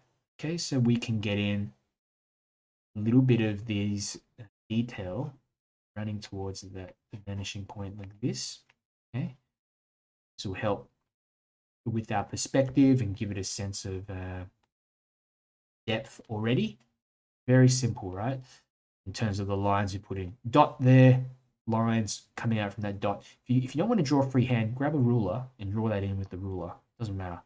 Whatever gets the job done. Um, so this building here on the right, I really like and uh, also some of these these figures as well we can use uh, a bit of the the way that they're facing and stuff. And they're all walking towards the right. And uh, one of the, the important things is to put in the figures first because what that will do is allow you to cut around and draw shapes in the background. So let's you know let me just let's just experiment. We'll get this guy here in the front. It's head head of a person like that. And we got the the the sort of um, shirt there. Okay, there's the um, the edge of the shirt. Then we got an arm there, and then maybe coming out to the front like that. There, you got his kind of like a chest, but on the back he's got this enormous backpack like that. Okay, and now like this. Okay, and uh, he's kind of just walking forwards. So he's got one foot here like this, and then the other foot's here, and then sort of facing facing backwards. It's not the best and the most accurate figure, but we've got a figure there. Okay, we might have another one here just walking. Okay, basic, and the head. Notice the head is tilted to the left a little, and that creates a sense of um, direction, like they're walking in towards the left. The leg here coming towards the front, and then we've got another leg here, uh, kind of going towards the back. And that, and there we go. We've got a bit of a figure there, maybe an arm coming out here, and an arm here as well. Uh, this person may be holding like a briefcase or something like this, just a square mark like that. You know, that could be briefcase. It could be wearing like a like a suit or something. So you know, a little bit of that. Okay, a little bit of that something going on in there. Um, let's have a look. We've got uh, a person here just sort of walking around and uh, you know, kind of sideways profile like this, and um, legs coming down, one towards the back like this, and one front there, like that. Uh, you know, another thing you, you have to remember is that with the watercolors, when we go over the top of it later, it's going to look, uh, you can still change the shape of these figures a, a little. So they're not super accurate at this point. Always remember you can go through, redo them a bit later. The, the, the trick here is just we want to get in some uh, figures a bit of life here in the foreground. Okay, the more the kind of a slant you put the heads as well, I find the more um, exaggerated it looks that their walks are. So I mean here, head sort of slanted over to the right a little bit, and maybe this foot's uh, forwards and this one's back, kind of walking forwards like this, there, um, you know, into the scene or whatever there going through there. There's a person here in the background over overlapping and a leg just jutting out the front like that. Um, you know, just have a bit of have a bit of fun with this. Okay. Maybe an arm coming across. These people are just walking across the road as well. Uh, another thing is that we want to put some cars in here as well. So that's the horizon line there that I've drawn in. And, and the top of this taxi, you notice, kind of like finishes off about here. Comes down. And we've got the windscreen. This. And it's just a square shape of the windscreen like that. And um, front of the car coming out here. Let's put in a, a bit of detail for the bottom of the car. This and uh, this from below the windscreen to the base of the car, which is the bumper, it's uh, more than the here to the top of the car. So I'm just trying to like measure it out, basically, bit of measurements. Some of the lights or something here. Well, um, the air sides of the car, this, and then at the bottom, just a simple couple of wheels at the base like that. And that's all really that we need for that car. Okay, um, pretty basic, pretty certainly pretty basic. And you know, this also gives us an opportunity now to add in some more. There's another car here in the background. There is a wheel there a bit of the, the windscreen for that car. There might be another car here that's getting closer to the scene, uh, like this, and we can get in a wheel here. Okay, like that. And, um, you know, we can also start, we can put in another one here, for instance, just behind that car. Uh, I don't know, something like this. There, another wheel there like that, kind of lining up both of these cars forwards or what have you, like that. So there's a couple of box shaped sort of vehicles that, that, you know, we might even invent something here. This could be a truck here in the background. I'm just thinking, what do they have in front? They've got a, uh, trying to think, maybe a little window here at the front, something like this. Okay, that could be a truck there on the side, and I'll get in a bit of the side of that truck, this maybe. Um, let's have a look. We've got uh, some smaller cars which we can put in there. You know, as we go into the distance as well, it's good to just use smaller, uh, like a smaller liner. It helps to add, just push that those shapes back. A lot of these overlapping shapes they help. It's a busy New York kind of scene. There's sort of a lot of stuff going on. People walking around. Um, it's just busy as anything, and there's more figures here in the background as well. We can just scribble one in like that. There could be a figure here, you know, there, that kind of thing.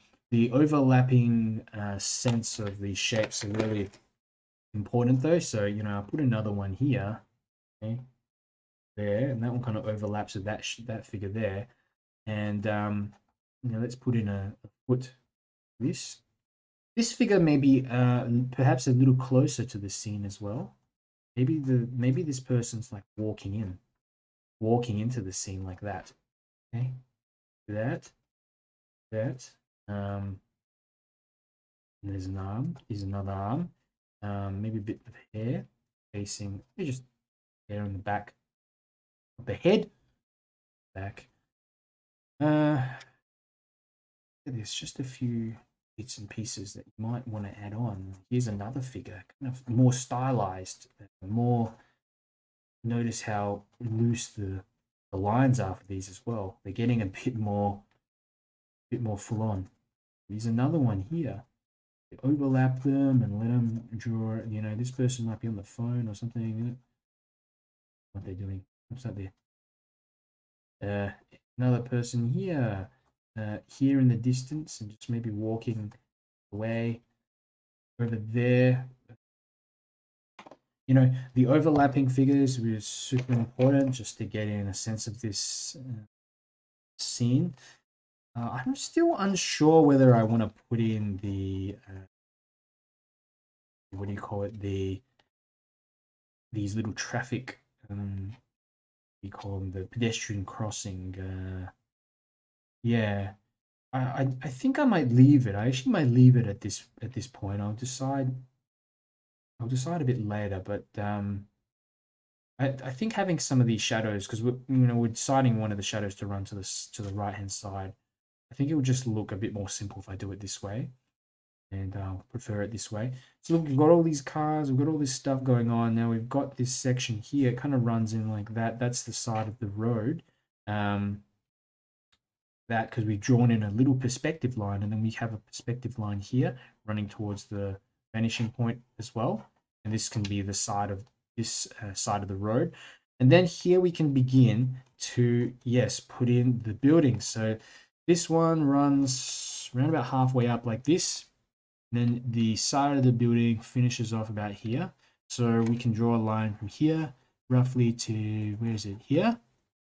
Okay, that's the side of the building and then we're going to go and get in this little thing like that there.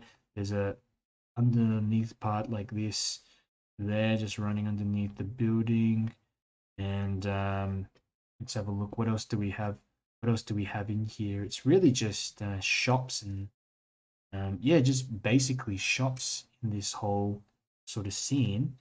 So some of this this little section on top like that as well, which has some of these little vertical, not vertical, but these uh, marks just running across that. Um, underneath, we might have more shapes. You know, here there's like a uh, just a squarish sort of shape, the side of a, a, shop or something like that, that runs down like this. Um, we've got another squarish shape in here. There's a doorway um, running in here. So there's a few, certainly a few little things that we can um, put in here. What else do we have? We've got uh, more sort of shapes. You know, that's a little shape there. Another rectangular shape here, um, like that. A lot of this stuff as well is going to be um, quite dark um, in here. There's also, you know, I'm just looking at where I can find shapes, rectangles, objects that I can exaggerate and bring out. I mean, here there's a section, another another bit there, but all this is just a lot of it's just darkness. Just remember to leave in some of these little these little uh, lines and stuff here. There, so that's a bit of that the building here on that right hand side. Now the building here just behind, um, well, actually this goes all the way up. It's kind of starts here and then it goes disappears off the disappears off. Okay, and we can use the marker actually to get in some windows or something. Just drawing some of these lines like this. Indicate out where I want a few windows and stuff up the top like that. Uh, but then we've got a, you know, a, a building here, okay, which kind of hits this one and this is the side of that building like this. Then it runs into the scene here like that. Okay, and that comes down. This. Okay. Fantastic. Um, and we've got windows on this building as well. One here. We've got a few windows here. On the side of that building, there's a window here. There's a window here. Um, again, not doing too much work in terms of like defining, but just simplifying shapes. We've got uh, another building here in the background. Um, again, it's kind of like further back in the background, so I'm using a in a pen, hopefully, to push that back. It's actually part of the same building. I didn't realize, but it is part of the same building, and it's just a different color of that building. I thought it was another one. Yeah, same building. Uh, so we'll bring that up. We'll just make that the. We'll just make that the building. How about that? We can put in some more of these little windows. I like these windows like that. I'll show you how to get in using a marker later, getting some of those shapes on the windows. Okay, so that's some of that. We've got another building here that kind of comes in front and it's like, it just juts out like this, comes down, hits the ground, and then we've got an edge of that building like this. Um, you know, some of you guys will probably know names of these buildings or what they actually are. I have no clue, but um, you know, um, it's a, certainly a pretty uh, pretty daunting scene to look like to draw when you're beginning. But you, you, know, I hope this is sort of helping you out. If you're not explaining it well enough, you do do let me know. Um, in terms of how I relate to buildings as simply shapes, I think that's the the way that um, keeps me sane. Otherwise, I'm just sitting there thinking, how the heck am I going to get in all these shapes because it just looks too difficult. So much in here, right? The buildings begin to get really tiny as we get out to the back like this. So, you know, some of this stuff here is just, see, just little bits of work. And you'll notice that the buildings uh, here in the distance You know, they also have a little details and things on the ground too. Um, what else do we have? We certainly have another building that's up here that kind of comes up and then it just disappears behind. That one on the right, um, just put in a few darker marks in there. There's this bigger building, and then there is, uh, look, I mean, it's all just the same. You can just simplify this down. Here's another one. Yeah, oops, here. And then we get in the side of that building like that. Yeah, simplify down. And we have a larger building that then comes all the way up, disappears out of the scene. Okay, and of course we are now in the center, roughly the center part of the page.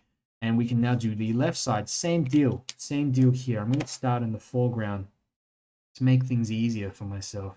Start here in the foreground and um, let's estimate. Now these two buildings, these gigantic buildings take up most of this space, uh, about two thirds of what we're going to draw. I might just indicate a, the building coming up like here, but I can start with this one first, um, base of the building kind of kind of starts around about here. Okay, let me have a look. Kind of starts roughly around here, and then we've got a little opening, a door or something like that. Uh, here, just a very large opening coming down there. Um, there. Oops. There we go. That's generally okay. And across like this. Yeah. Um, carry this down a little bit there. I'm going to bring this all the way up. This is going to disappear off paper. Okay, that's this big building here on the left that we're trying to get in. Okay, here's another bunch of lines that are just um, segmenting this building and cutting in front of that door. The base of the door as well, we're going to get in the base of the building, roughly, roughly there. And we've got the footpath, which is about uh, uh, around about here. I think now this figure here in the background is too big. We're going to have to do something about that figure, reduce them down a little bit. Well, of course, I can change the footpath location to be around about here. So um, oft, sometimes you notice things like that and then you, you realize you actually have to change it up. Um, but I don't think that it's too noticeable. Certainly we can wing it and fix it up in a moment. Um, okay, did have, I thought I had like a line or something right down the page. I did. Just a, a more of this, these directional lines. Need some of these to help me picture the perspective of this scene um, better. Okay, little perspective lines. Probably not really visible later when you finish the the drawing, but uh, they they help kind of like as a drafting technique to just draw some of these things in, these shapes in as well. So something like this. I do have a heap of courses uh, up on my website and on Patreon, which uh, yeah, basically urban sketching stuff that I go through. Lots of videos that I've put in there. If you're interested in learning a bit more, um, you can check that out. And uh, yeah, if you want to support me as well, you can sign up sign up and try it out. Um, you know, you only need sign up for a month, and if you like it, you can hang on and uh, keep uploading on there. If you don't like it, then um, yeah, no pressure as well. Just sort it off. But there's some material on there which uh, may be useful to some of you guys. Uh, now I'm just trying to get in again the perspective here of these buildings coming in like this. Okay, it's not exact. Honestly, it's not. It's not certainly exact. And with this building as well, it's actually taller. I mean, the door kind of comes up around about here, probably more. But I've um, yeah, I've I've, I've certainly uh, increased the size of this building more. And, and because of the horizon line, I've dropped the horizon line a little bit as well. This is going to change the location of this building. Uh, so we're going to carry on. Let's get in this building here to the right hand side. It comes down like this. And then, of course, we have some of these windows, just squares, just like this. Just little squares there, there. Um, going down the side like that. Um, we've even got poles and things, but I'll add the poles in later, yeah, because I don't want to don't want to get too too bogged down in, in all the little details just yet. probably might think I'm already getting bogged down in details. Some of this stuff I'm drawing here. So there's the side of that building. And again, going to start drawing some of these little perspective lines running towards that um, the side of that building like that. Now, this area of light that I have coming in, I'm, so, I'm going to get this light shape running across the ground, covering some of the figures, perhaps covering some of the cars, but leaving some of it exposed as well. I think that would be nice. Um, this truck almost looks a bit like a building, but we would be okay.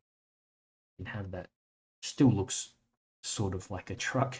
Um, so these two buildings are probably the, the biggest ones to have in here, and you know, the, it, there are little shapes here, like for example, this section here, which is just like a kind of like a front of the of the building, um, like that, kind of like an entry uh, point or what do there. So, um, yeah, a few more figures here keep things interesting. Um, like I said, this figure here may be a little big, but hey, I don't think we can really notice. Yeah, I mean, in this entire scheme of things, it's not too uh, it's not too obvious. And uh, you know, I'm going to swap over. I'm going to show you some of these like show you some of these other pins that I got. And they uh, sent to me from Etchr. There's a there's a uh, little the little uh, thing in the description. First time customer will give you ten percent off. But I use this. See, look, we can get in, for example, this quote of this person here, and just quickly follow that in like that. And there we have it. We've got a little bit of contrast there. This person here, you know, with the legs, um, one leg coming forwards and then you might have a leg coming back, I can just sort of draw that in like this. There, add in a little bit of context, a little bit of detail in here, maybe a bit on the shirt like that. Um, you know, a bit of darkness underneath this car as well, like this. Um, you know, tiny bit of that. But, you know, don't worry too much about all the darks just yet. This is some of it I just like to add in um, to kind of help me picture how the scene's going to look like. And I do like this stylized um, darkness in areas of it as well. It's uh, but certainly it's it's something that you can do later with the actual watercolors itself. Oop, pen's jumping around. It's alive. Uh, so let's go on. Um, getting too excited. Getting really too excited. some of this stuff here. We're gonna have some darkness in here Okay, bit of bit of darkness in there. Like I was saying, this area underneath here is going to be pretty. Yeah, we're, we're certainly going to have some dark points there. Bit of darkness there. There's a, you know, maybe a bit underneath here as well. Okay, um, but I, don't. I'm very careful as well that I don't do it all now and leave some of it for the watercolors. Um, but this is going to help to get in. See the figures, cutting around the heads of the figures I'm drawing out some little details. Okay, little bits of details, slightly more stylized um, bits and pieces. Yeah. Um, you know what happens? What happens if I draw a figure using this pen? Okay. Probably nothing. Probably looks fine. But I got a figure here. Whoops. Too much scribbly sort of stuff going on. Uh, perhaps a figure here walking into the scene bit more stylized and uh, exaggerated, squiggly sort of lines. Walking into the scene. Yeah, I figured out I can put one in here. Let's draw, let's put a bit of darkness around that figure. And bang, they've come out. So uh, that's a little thing you can do. A little bit of darkness in between these signs as well, underneath the areas um, of contrast. You know, this could be some doorway, these two areas that could be a doorway in there. So again, we don't you want to leave whatever you leave out, whether you're doing in watercolors or, or, or in pencils, drawing in pencils, sometimes the stuff that you leave out is uh, it, well not sometimes, but it's just as important as the stuff that you leave in. Okay. Um, I can really go on forever just drawing this, drawing this, um, drawing this in, but uh, you know, you kind of get the idea. I hope this um, helps out a little bit, yeah. If you're doing this on site as well, it's great fun and um, certainly something I'd really recommend if none of you have none of you, but if some of you would like to do some urban sketching, and it's, it's something I'd really recommend. It teaches you so much. It teaches you um, how to, to sketch quickly, get an impression of a scene. Uh, these are just some windows that I thought I'd put in like this there. That side, you've also got some windows here. Uh, this is just made up stuff. That these windows are not really, they don't really look like this. And these are these are enormous office buildings, and there's just windows everywhere. But sort of little areas like this are going to help to um, create a sense of uh, detail and um, sense of detail and uh, uh, yeah, just create these windows in there like that. Okay, you know, here's that figure as well. In here, I'm not going to go into the background because the shirt of this figure is dark. If I go into the background, we're going to get too much uh, darkness in there. I thought we'll maybe add some darkness for this person there. Really up to you. really up to you. You know, coloring bits, pieces of some figures in this one here. I might in a bit of darkness for the legs. Okay, a little bit like that. Yeah, a little bit of a little bit of darkness uh, for the windows and areas like that helps to get in some of that detail. And I'm following these perspective lines that I'm that I've been drawing. So those little lines like that, they'd certainly help to yeah imply some decent perspective in here. This this doorway as well, it kind of bugs me I'm gonna just just gonna color it in and hope for the best later. Something like this. Okay. Cut around that figure a little bit, reduce the size of that figure. There. Dropping everything on the ground. Everything in the ground. How are we all doing? How are we all doing? Um, hope it's hope you're keeping up okay. Um, and then uh, you just let me know. Let me know if you do need me to explain a bit more as well always happy to go over things another time. Um, if it doesn't make sense or you need me to go over what I'm doing in more detail, lines. These are the grills. See the grills of these cars? Just have a little, little uh, line there. That couple of lines. Don't overdo it. Ooh section under here as well. There we go. Plastic a little bit underneath the windscreen. Yeah. Plastic. Um, righto.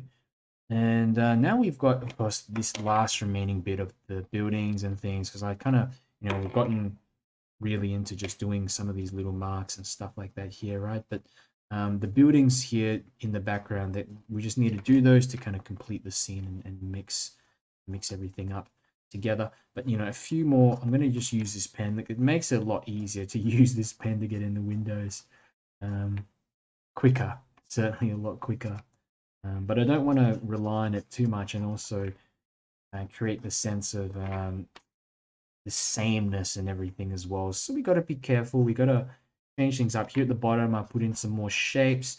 You know, here's a circle. I don't think that circle is really there, but I'm just going to put it in there anyway. And here's a bit of darkness around that one. Change it around a bit. So bits of interest to, um, again, create contrast. Um, you know, that could be the entrance or something. You know, there we go. A bit of darkness there as well in the front of that building. Like that. So let's go in and, and start putting in another building here in front, like that. And around this time is when I, I suggest swapping over again to a smaller, smaller nib. If you've got one, if you don't have one, just use what you're using. Uh, but a smaller nib can help, can help to get in um, the small buildings, and then we can push them back into the distance more. And this here was that horizon line that I'd added in um, at the wrong point before, and you can't, you can barely notice that. Looks like nothing. Can't see that. So don't stress if you are drawing with the pen and it doesn't go where you want it to go. Um, just carry on and do what you were doing before and um, change the direction of that line or just go over it once and and you'll be fine. So don't don't um, get too hung up over things like that.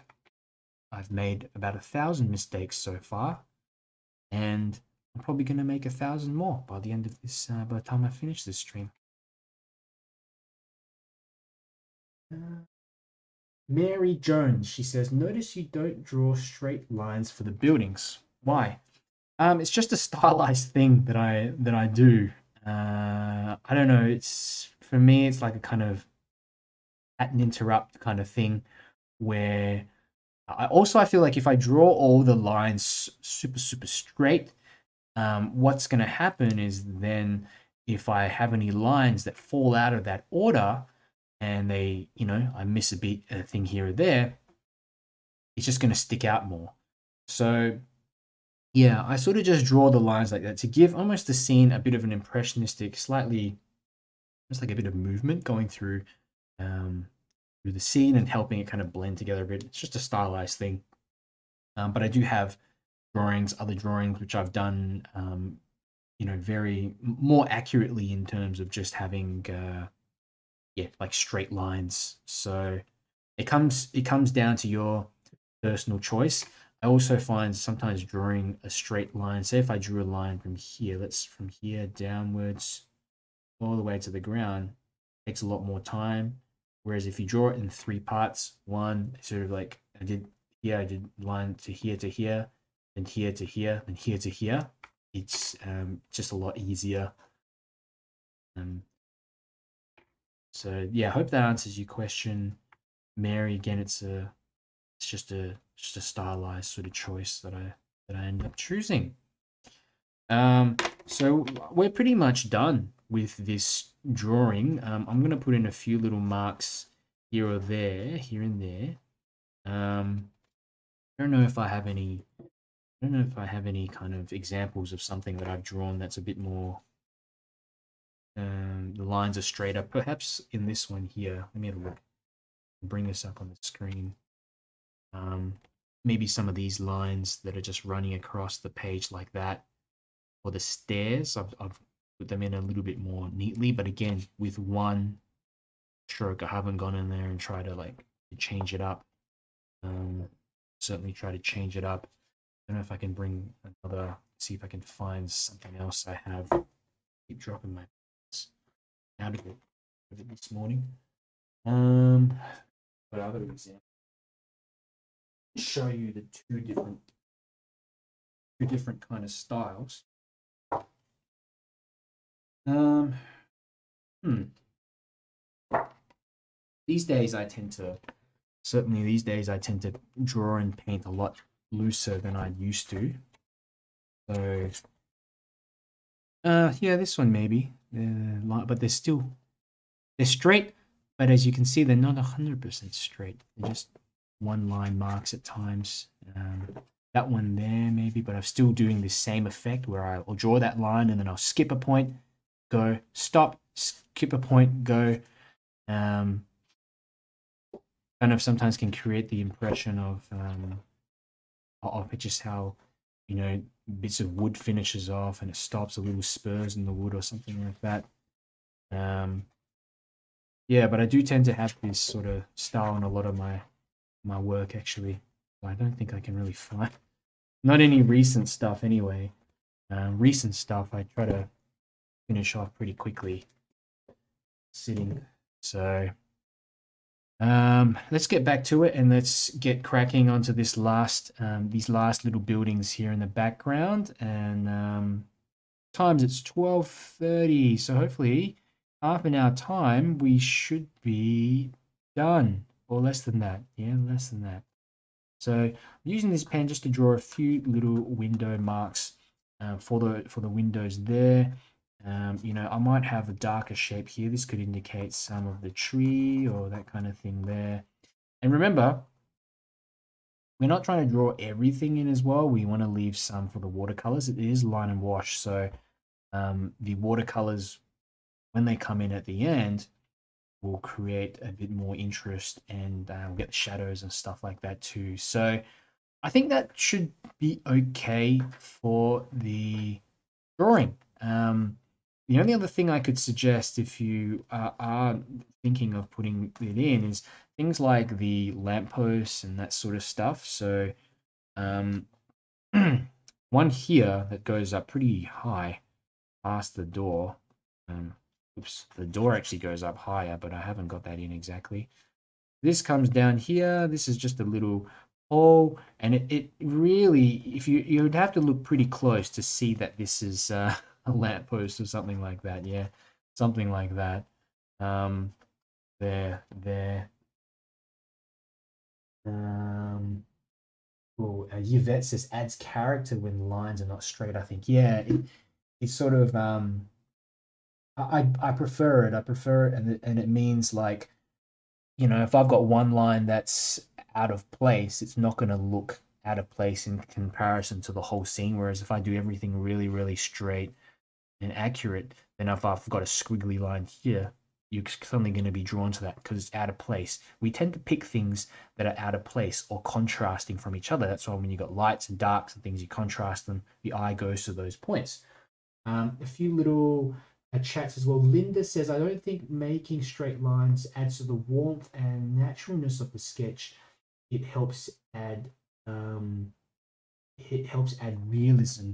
Yeah, so definitely um, that's that's another. If you want to get a, a a more realistic rather than a stylized, um, impressionistic uh, view of the landscape. Certainly, um, focus on on trying to get those lines straighter. If that's your if that's your aim, it just depends on your on on what type of scene you want to portray. Loretta Sampson from uh, Scappoose, Scappoose, Oregon. Nice to nice to have you here, Loretta. Again, um, cool and uh, and uh, Philip's nice some nice words from Philip as as well in the chats, um, talking up my he's talking up my um my cityscapes. uh, appreciate Philip. Um, okay, okay, okay. Let's let's uh let's um you, know let's let's just draw in a few more of these little lampposts and things, okay? And apart from that, we can really begin what we were here to do, which is to paint.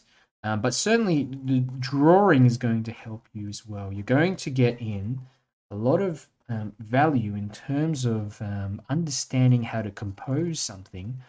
And, uh, you know, it also builds the steadiness um, in your hand when you're drawing, uh, so when you're painting with your paintbrush, um, you know, smaller, more detailed shapes. So, a lot of people avoid drawing, and I used to certainly when I'm when I'm doing watercolors, I don't really enjoy um, drawing in, in pencil for too long. Um, but I do love, I do really like drawing in pen. I don't know why. Um, it's the same thing really, except it's just uh, you know smaller, uh, more permanent sort of marks on the paper. But um, yeah, Righto, we are just about done. Um, quite okay. I'm quite happy uh, with this. And um, so let's do this. Let's do this. And I will start off with basic color. I'm going to go in with a large brush and let's have a look at the scene. Now, I do notice that the scene is, yeah, there's, there's a lot of grays and stuff in here. It's an overcast sort of day. Again, I want to change this up to make it something of my own. And I'm going to grab some of this orangey yellow color, drop that in here. Yeah, we just want to get in like all the, well, for me anyway, I just, I want to get in a lot of these warmer colors on the building. Remember, we got the light that's coming from this side to this side. So we're going to have to, um, yeah, we're certainly going to have to get in light on this side of the building, which is going to be you know, this warmer color because I, I don't want to have it, I don't want to really have it with a overcast sort of um, situation over the entire landscape. So a bit like that there. Um, let's put in, you know, a bit of other color down the bottom. Um, some of these little signs and stuff, this is a good opportunity to pick up other colors and drop that in. This could be some uh, lavender. This could be some cerulean blue in here. This could be some other blue and stuff in here as well. You know, we can put in a bit of purple or something like that, just a cooler color. Um, and I'll join that on with that as well. There, it's a granulating purple color. Look at that. It's just like mixing all over the place. There, carry this down. Um, here, let's put in a bit more lavender, perhaps here, here. Okay, and uh, some more of this kind of warmth there as well. Some somehow in the back of the buildings, I'm thinking let's why not let's put in some uh, cooler color, maybe a bit of Payne's gray, a little bit of Payne's gray in some of these parts, just a light wash of Payne's gray in here as well. Um, that, that could be like just a bit of interruption to this warmth uh, all over over the scene. It could be like a, a, shadow or something cast on the side of that building. I don't know.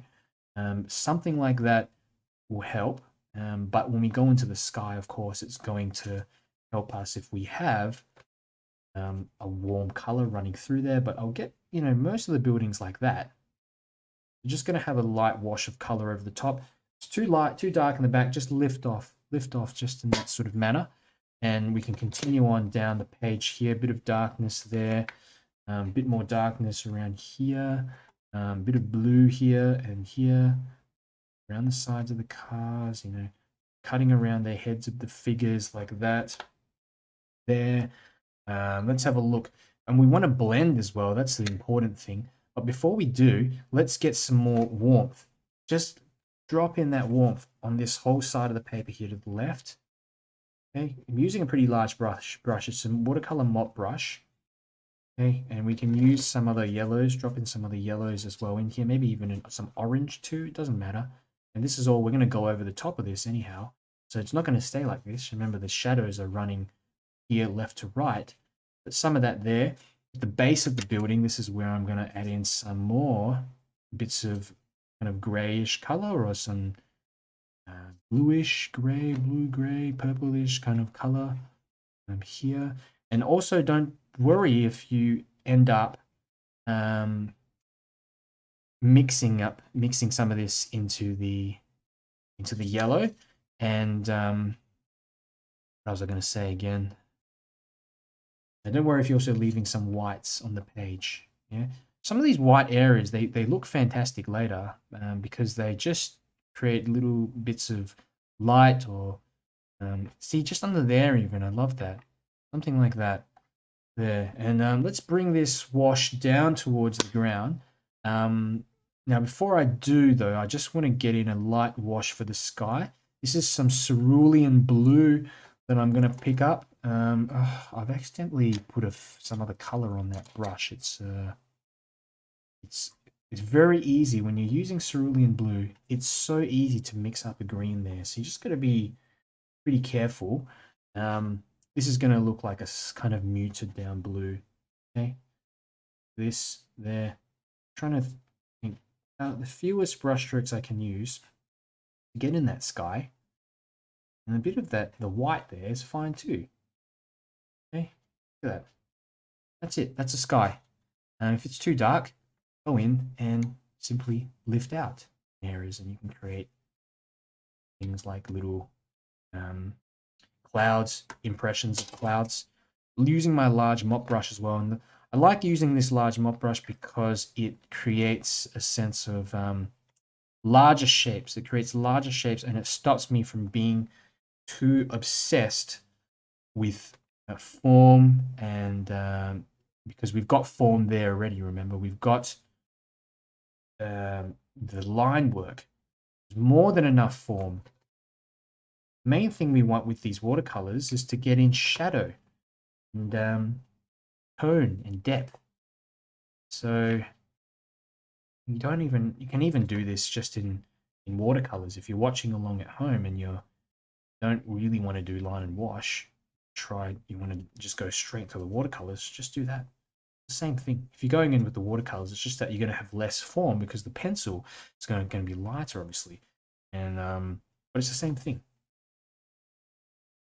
So come down, I'm going to just bring this all the way down to the bottom of the page. There, almost done. Little bit of darkness here at the base. Got some Payne's Grey that I'm dropping in here as well, just a little bit like that.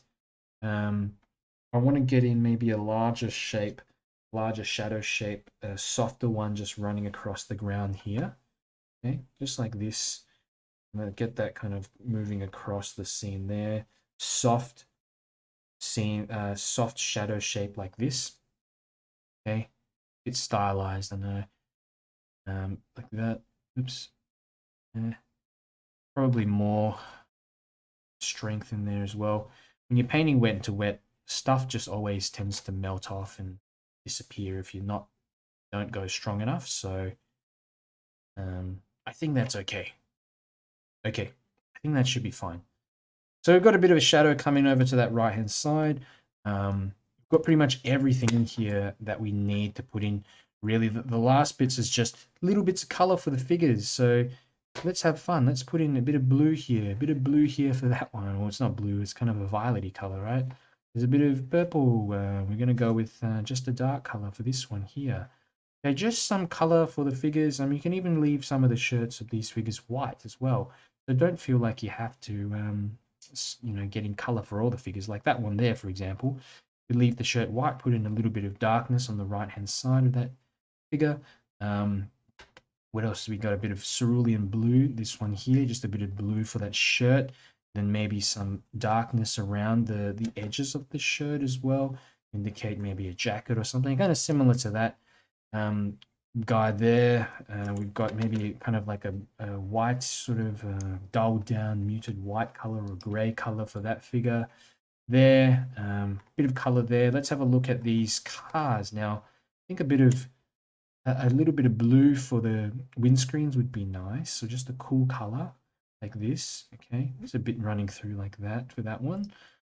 Keep picking up, keep picking up some purple color by accident, but um, it doesn't matter. It's kind of you know, it's kind of cool color anyway. There, this car, this car here, I'm gonna just put in. Let's put a bit of yellow, maybe some. How about some red? A teeny bit of red as well. A bit more warmth in this one, just to change it up a bit. Okay, like that. Maybe some another car here out in the back there. Look this there. Um, the heads of the figures, I'm going to put in a bit of a little bit of red to maybe uh, just draw out some the features, red and a bit of uh, burnt sienna, you know, as well. You can use you can use that to create some flesh tones. Um, also a little bit of blue, get a bit of blue in there as well. Um, so it's up to you a bit of carmine and a bit of burnt sienna that can work as well um, there we go just some heads and details on those figures okay a lot of this is really starting to to come together and dry off now. So let's finish off this and i'm going to dry it do the final shadow and we'll be finished in about 10 minutes. But yeah any questions uh, leave them in the chats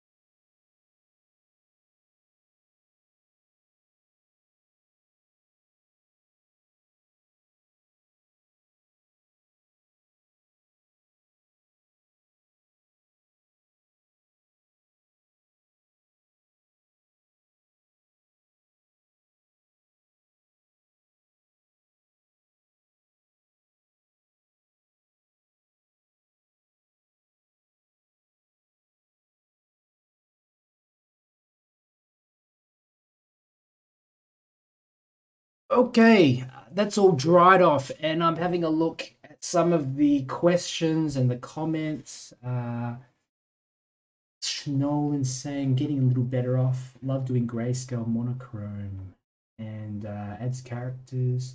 Oh, sorry, I've already read that, but um, Philip says it looks alive. It does the the colors mixing together and moving, and the the the sort of um, wet in wet effects? I love that part of it. It's exciting, and you kind of you're you're almost fighting against time, but it's exciting. And uh, Kate says, Darren, I'm enjoying the class today. Awesome, Kate, and uh, always good to see you. Give uh, give it a go every week, and it adds up. All the practice accumulates, it adds up, and before long, you look back at some of the stuff that you've been drawing and painting months ago, and you think, "Wow, I've really come a long way." So sometimes, well, not sometimes, it's always very difficult for us to look at our own progress um, day to day because we're so familiar with ourselves. It's like when someone doesn't see you for quite some time, they say, "Oh, you know, you've uh, changed your hair, or you know, you've um, been at the gym, or something like that." Um, but you can't really see that. So it's the same thing with practice. Um, often hard because we paint every day, we see our, our results, and long term, it can be difficult to identify that. So um, let's have a look. There is a few more. Um, where am I up to? Lily, uh, Lily's um, said, looking so good, like your techniques, Darren. Awesome, Lily. And Lily's asking, is that a hair dryer or is it a special dryer? It's a special purple hair dryer, Lily. So purple's uh, one of my favorite colors. And uh, yeah, I don't know. I got where did I get this from? I think um I think I got it for about ten dollars from Kmart. So uh, Kmart is like uh yeah, it's kind of like a, a well like a Walmart or something, I suppose, over in the States for you guys. Um yeah, it was like five or ten bucks. So nothing special. I've never had any ill effects. I've never had any ill effects of using the hairdryer on my watercolor work. Um, the only thing you've got to be wary of is if you've got pools of water, um, say this stuff is drying here, that's drying here, but it's like pooling, and then you dry it with the hair dryer. Um, it will at times just push the water over in different directions. So you've got to be careful with that. Um, because I'm when that happens, you see me grabbing the tissue and you know frantically just trying to blot off some areas. So yeah, just be careful with that if you do have some of those areas. But it it, saves so much time. Um, because I'm not going to sit here and watch literally watch the paint dry. But with that said, there are some times where when the paint dries itself, the effects are a little bit more subtle. Um, the paint disperses more evenly. But for the most part, um, if the paper's just it's it's half dried, you hair dry it, same thing, no big deal. Okie dokie. Um, let's continue on, everyone, and let's um, do the fun part. I like this part of the painting where we're just going in with shadows and darkness and all the juicy dark bits to draw out contrast. I'm going to be using two brushes, a number 10 round brush and a number 6 round brush to get in everything that we need for this last section. Um, and I'm going to have to invent some areas of shadows here because we haven't got them in the reference. So we want them to come from the left to right and I do want them to come on a slight little angle as well. You see this shadow, it's kind of, it's not completely from left to right. It's kind of left to down, down, where's it? Down to the right kind of thing. So it's just a slight little angle here on the ground. Just something that I decided to do. But we're going to make all the shadows. We have to make sure that when the shadows are running in that direction, they have to run that same direction is what I'm trying to say.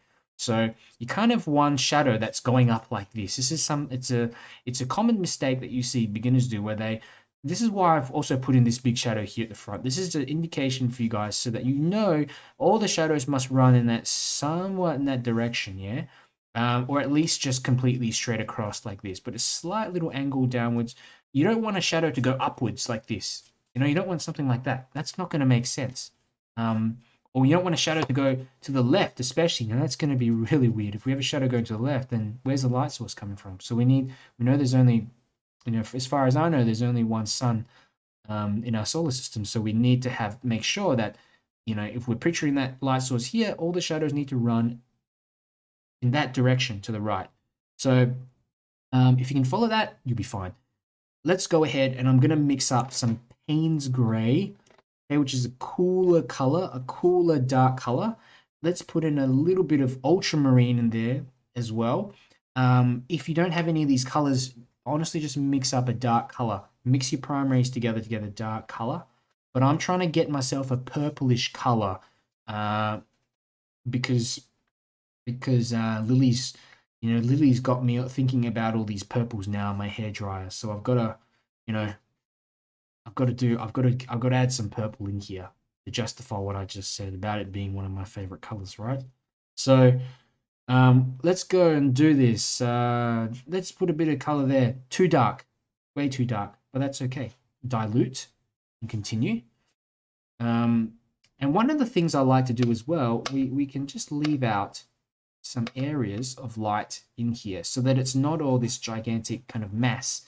And I sort of shift the, the, the color around a little bit too, you know, here, you know, there's a bit there. And we have areas where we have yellow showing through like that. Right, so just some little bits like that, so that it's not all this mass of color and nothing, none of that lovely yellow showing through. So another thing you can do, use the edge of the brush like that. Sorry, not the edge, but the side of the brush, um, and that will help you get in some of these dark tones, um, but also encourage the paint to skip over. Now leave that edge there and we're going to go here because this is a kind of, you know, imagining a gap running through these buildings, right? So we go darker here, probably around the time where I'll, I'll use start using a smaller brush as well because this can get, I can get a bit um, too haphazard, get a bit too excited and suddenly get rid of the light. So some of that in there like that, um, there, same thing here in this building. Notice there's a little edge there. We're going to leave the light in. Come down, this little bit here, here, even that one. Uh, some of them, they're probably not going to be as noticeable because they may still be in the dark. Um, but a little bit of this, uh, maybe a little bit in here, just darken that building down a little like that. Sometimes these buildings will have like a shadow running through the building like this. Maybe another building kind of cutting over them from the back end like that. So a little bit of that coming on.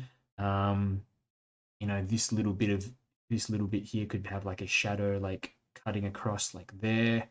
Here, a light sort of wash running across like this, and this helps to join up, still leave a bit of light up on the top. Okay. Um, excellent. So we're moving moving down the page. Okay. And um, getting down to the base of some of these areas, and this is where we can have a bit of, you know, again, create more contrast by darkening off as well, further darkening off some of these areas, especially around the figures. Um, cutting around some of the figures is good, and uh, but remember as well, we do have an element of um, darkness and shadows running across the scene, so some of these figures are going to be covered completely a lot of them are going to be covered completely anyway. Okay. There we go. A little bit of that color there. Um, very, very loose uh, shadow just running over the top. This one in the background. Hmm.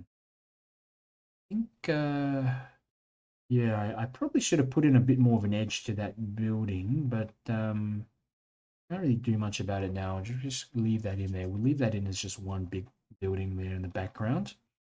Um, okay, and we're going to start putting in like shadows and darkness on areas of the of the buildings on the ground now. So, for example, here we can get in a sharp sort of shadow running across like this. Oops, that needs to be darker, like this. Okay, another one here this. Yep.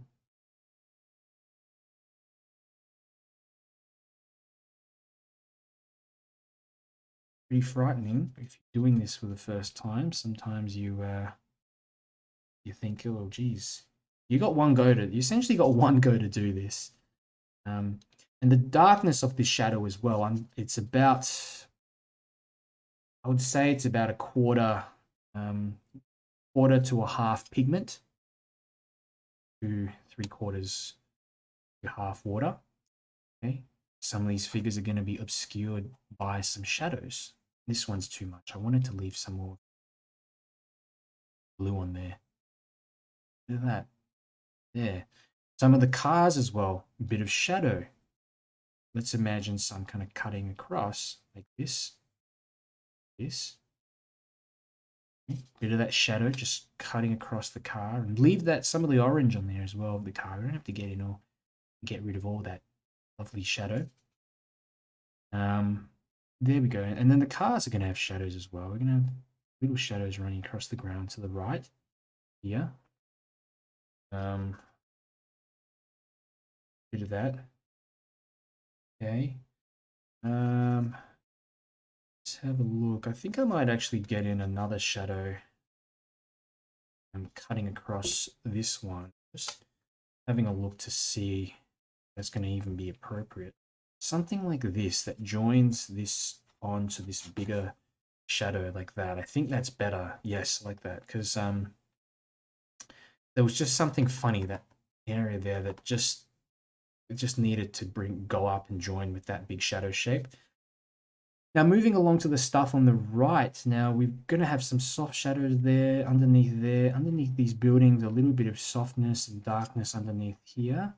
Okay, um, a lot of, you know, some of this has already been aided with the pen, so, you know, we don't need to do a whole lot in here, but just put in some little dark areas in, in sections, like underneath here, for example, that might be darker.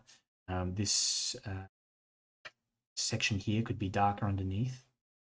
Okay, that on top is lighter section because it's kind of exposed. The sun, um, a bit there, for example, a bit there, a bit here, a bit here. Um, you know, maybe a bit of shadow and stuff on the windows, on the right hand side of the windows, like this. Not really, it's not much, just a little dab here and there. Here on this building, I, I thought I'd maybe will create a little shadow. Because, you know, the, the light's hitting this edge of the building, and this bit may slightly be slightly in shadow. So let's let's try this, and this will bring out some of the details on that building. Um, but I'll soften a little bit here as well. Need to let it move over in there, maybe some here. Um, you know, at the base of these buildings, a little bit of darkness in here. Okay, so we've got certainly got a few um, bits and pieces going on in here, and you know that could be another dark bit there, another dark bit here.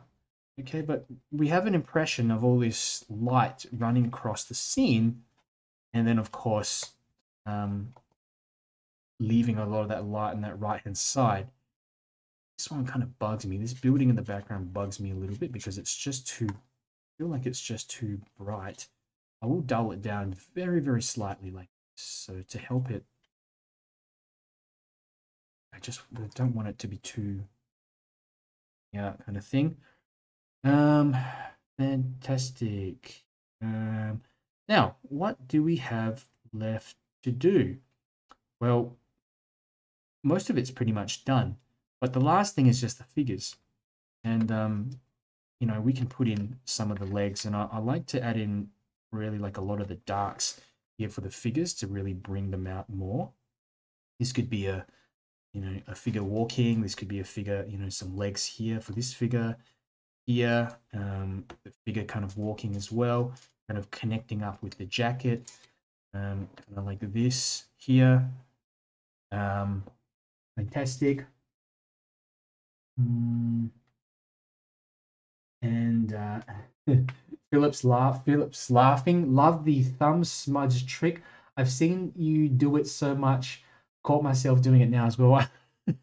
I don't even um I never realize I'm doing it sometimes. It's almost actually that came as like a bit of a panic thing when I was starting learning to paint, and then I would put I'd put some color in in the wrong place, and they'd be like, "Oh no," and I'd try to rub it out with my thumb. But now I've kind of mastered it to, you know, pick up pick up paint. It's almost like a it's almost like a, a very non-absorbent, soft, uh, fleshy tissue. Uh, um, alrighty, uh, let's have a look. Uh, it's a question from Lily. Lily says, I've added watercolor over line made with pens, but the ink and the watercolors become very messy, smudged. Okay, yeah, that the main thing you got to remember is when you're using um, you're using pens, just make sure that they are waterproof, or uh, they'll say waterproof or permanent. Check on the side of the pen. They often say that specifications. These ones I got uh, from Etchr, and they they gave these to me as a sample. Um, I thought they were a bit of a gimmick to, to start off with because obviously there's so many. There's 16 of them, um, and the flat ones I thought they were a bit. Um, I thought they were a bit gimmicky, but I actually have used these so often now, um, and these are my preferred preferred pens. But I do use the uh, pigment. What do you call these? Uniball eye pens. Uniball eye pens. They're about two dollars, about two bucks. Um, but you can get a set of these uh, Etchr pens on their website. There's also a, if you check in the description, there is a, a coupon code there gets you 10% off. Use my coupon code. Um, so if you want to, if you want to support me or whatever, but this is like, uh, they're, they're pretty good. 16 pens. I think, I think they cost about 40 to 50 bucks, which, um, look, I think it was like $2 something a pen. So that's pretty decent. And I've used them quite often, um, every week, at least three to five times. So, um, very durable. And uh, look, I'm not as as to how long they last. The ink lasts them. I'm not sure, but I'll keep you all updated. I mean, for those of you watching, you you'll see anyway. Um, hope that answers your question. James Milton says, "Love your version of the photo reference. My car looks like a go kart. my car looks like a go kart sized up to my people." yeah. Um, you can uh, always increase the size of the cars as well. Like if it's a bit small, you remember you can use the pen and just kind of restate the lines. It's not going to look perfect, but with this sort of style, like I said, if you stuff something up or you make something too big or too small, um, because it's quite loose, you can keep continuing and um, yeah, again, just uh, restating things without it looking too out of place. So these figures, I've really, I think I've just I certainly have gone quite overboard with the with the legs, but we'll be okay. We'll be okay. We're gonna get the shadow in just like this, a little bit of a shadow on the ground um, for this one as well here. Um, here, just running towards that right hand side, trying to get them to join up. The figures joining up with each other through the shadows as well. So you kind of do the legs like that, right? And then with and then um, you join the legs with the shadows here on the ground, and then just move back they'll follow that same direction. Okay, and, and if you join them along, you get a few dark bits on here, you're fine. They look like people. Yeah, this can be a bag or something that the person's holding. And they have an arm, maybe an arm coming out here or something. This person's here. Person might have the arm up, you know, here. I, I don't know what I'm trying to do here. But it's uh maybe there's a bag here. I've done the done the finger smudge thing again, Philip. So um you know, even with the legs here, now these legs are funny. I don't know what I've done here, but they just don't look too right. So we can try to restate, restate them a little bit. Okay, and that might look a little kind of better. I don't know. He's just yeah, that looks a bit better. I don't know why I had that white bit coming all the way down before. And it just looks like a very tall person now. Um, have this sort of notice how I'm just touch and go, touch and go.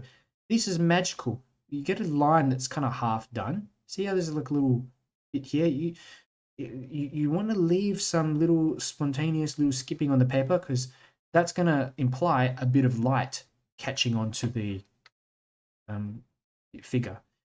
Here, the, the legs, they look a bit funny. I thought they look a bit funny, but we can try to restate them a bit, yeah?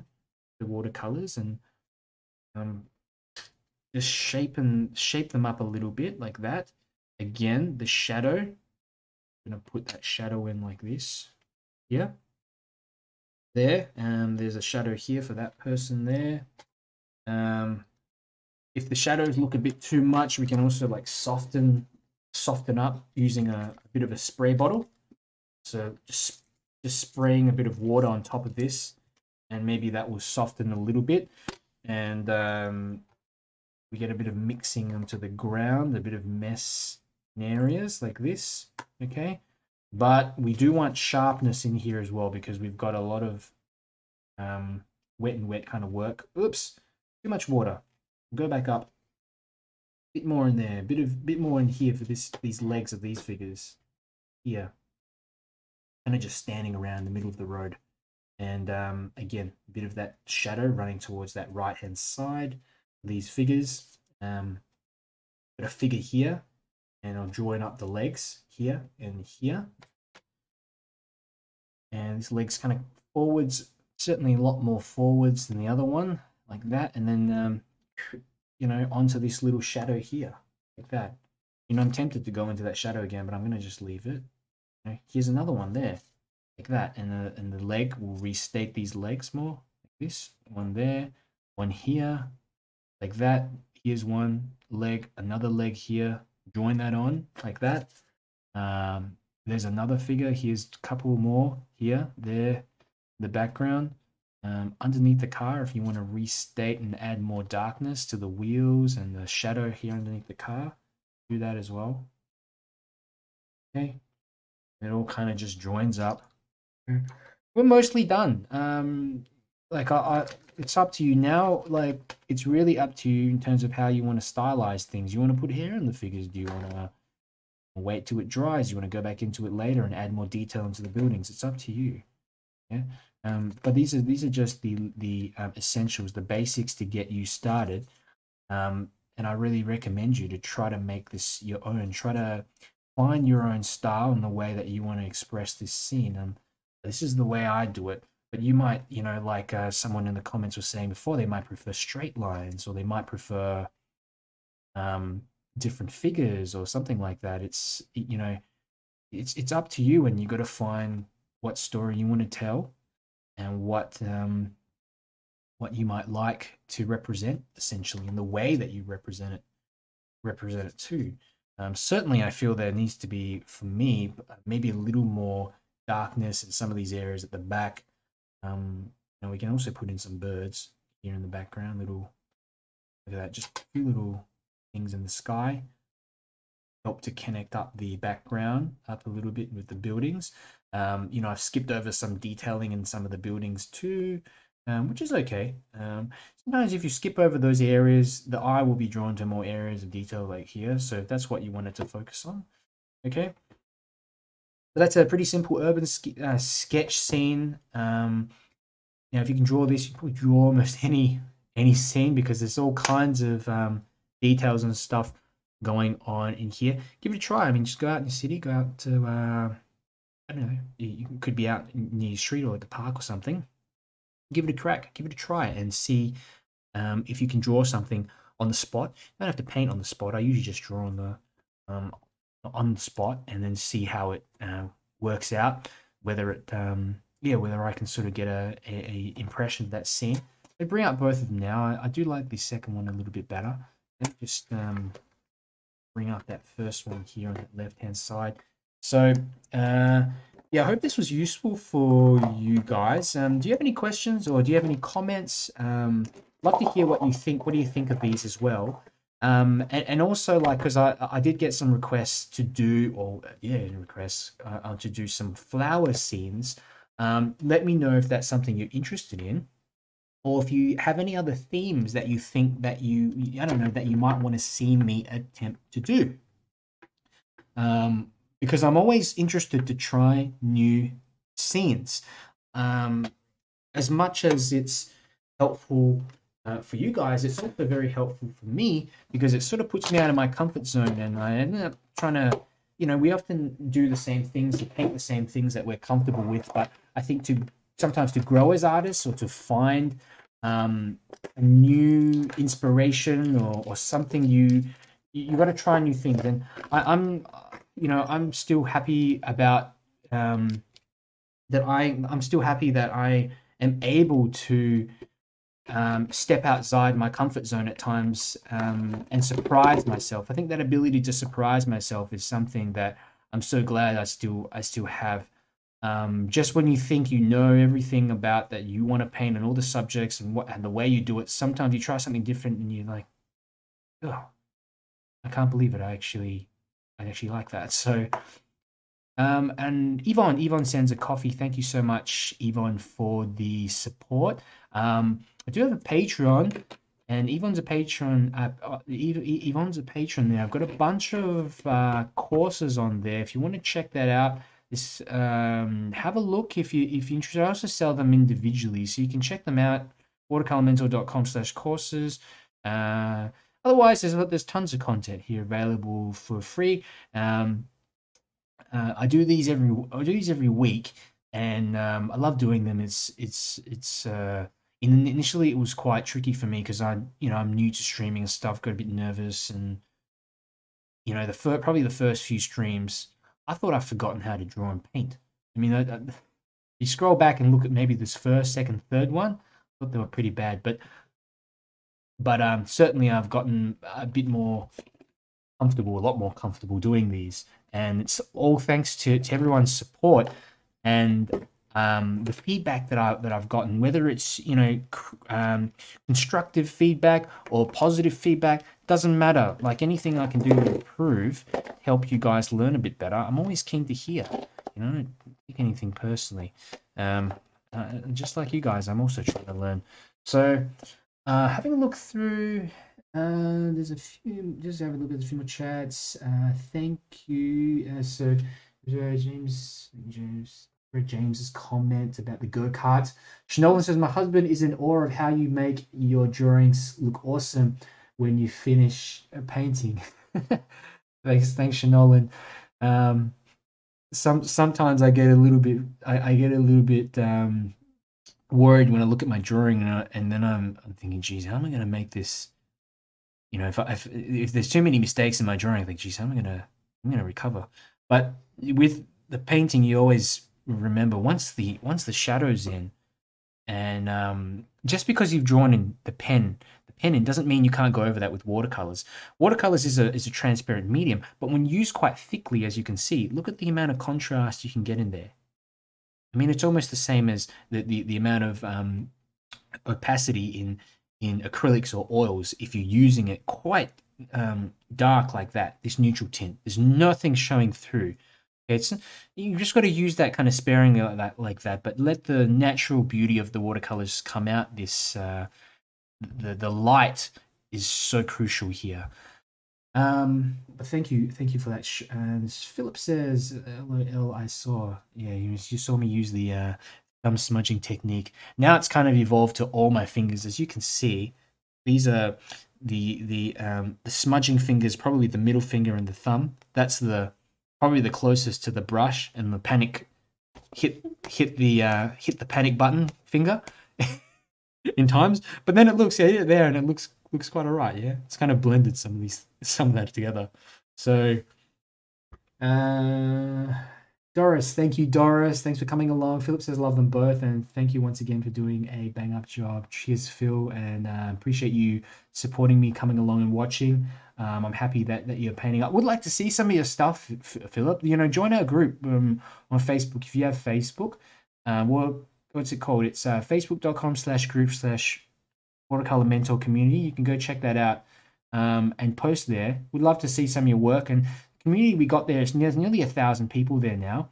Got a bigger one that has about a hundred and something thousand, but it's less personalized. This one's just for these demonstrations and you know just for stuff that you guys want to share, paintings that you've done and um, get some feedback from everyone. It's a really nice, supportive community, and um, and and it, it means that you also get a bit of feedback from other people rather than myself. There's some experienced painters in there as well.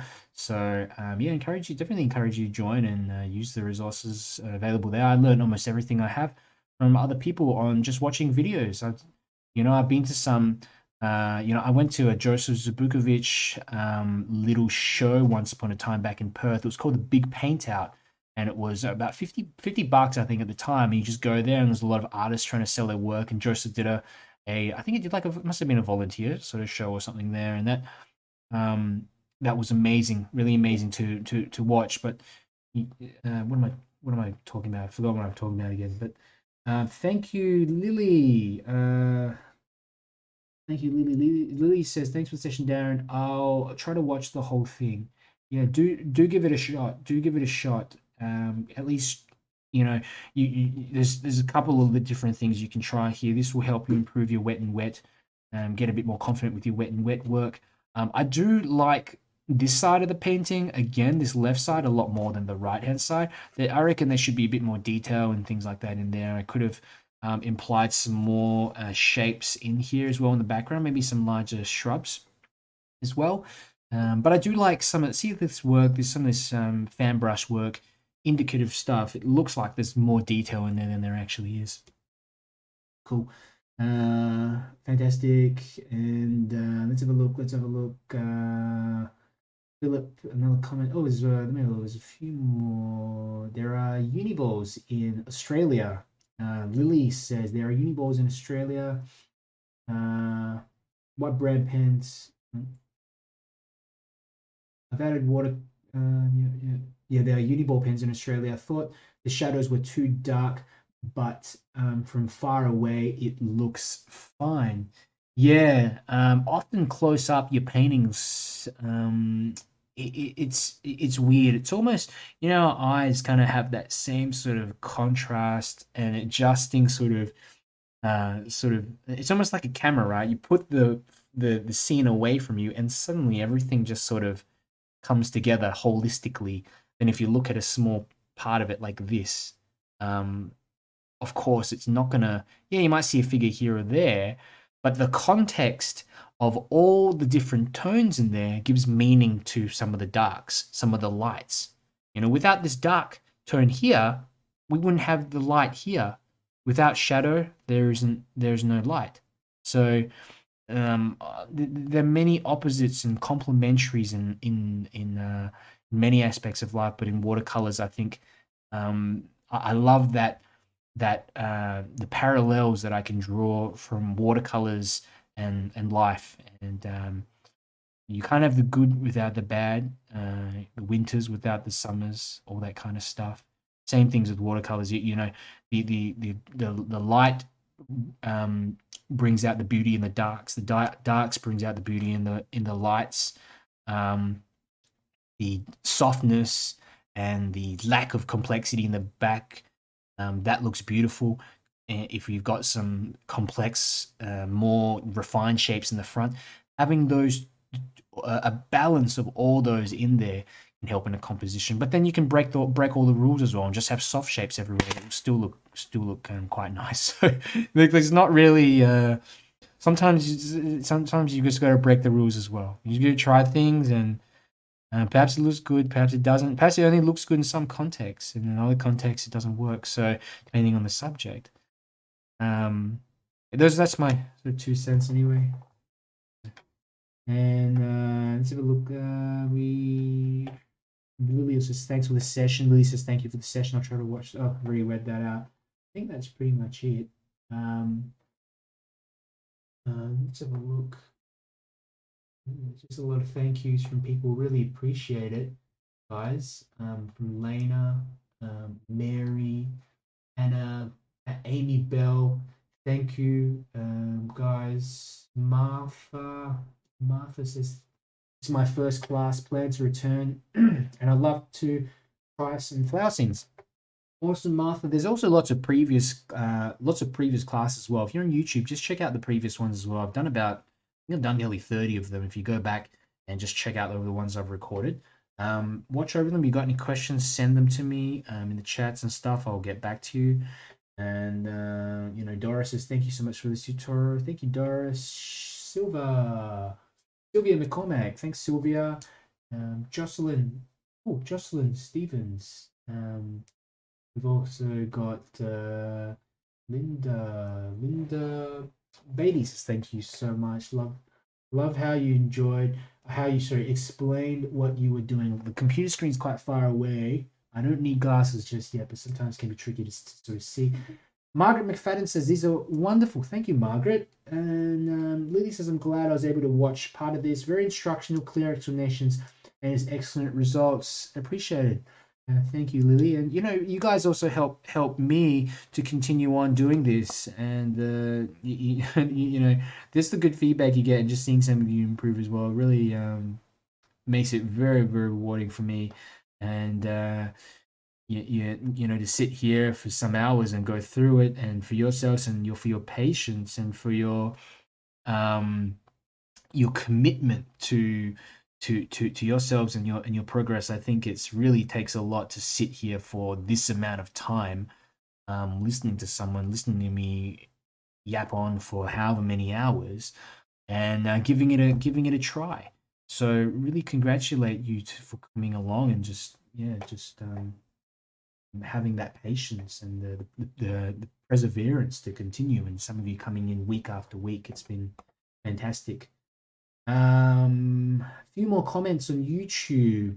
Um, uh, if I haven't heard from you from YouTube or Facebook anymore, you know, leave a leave a comment so I can just um, see your name and I try to remember you for future ones. You know, um, it's, it's always nice to meet new people from different areas and see what you think of the these classes and um, how long you've been painting for.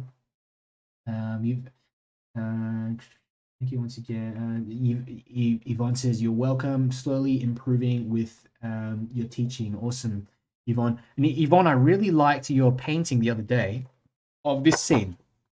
You did this scene um, in your own in your own style. The soft, the wet on wet work in there was fantastic. So um, keep up the good keep up the good work.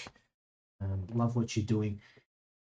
Yvette Paul, thank you, Darren. Lots to work on this week. See Wednesday. Thanks, Yvette. Catch you then.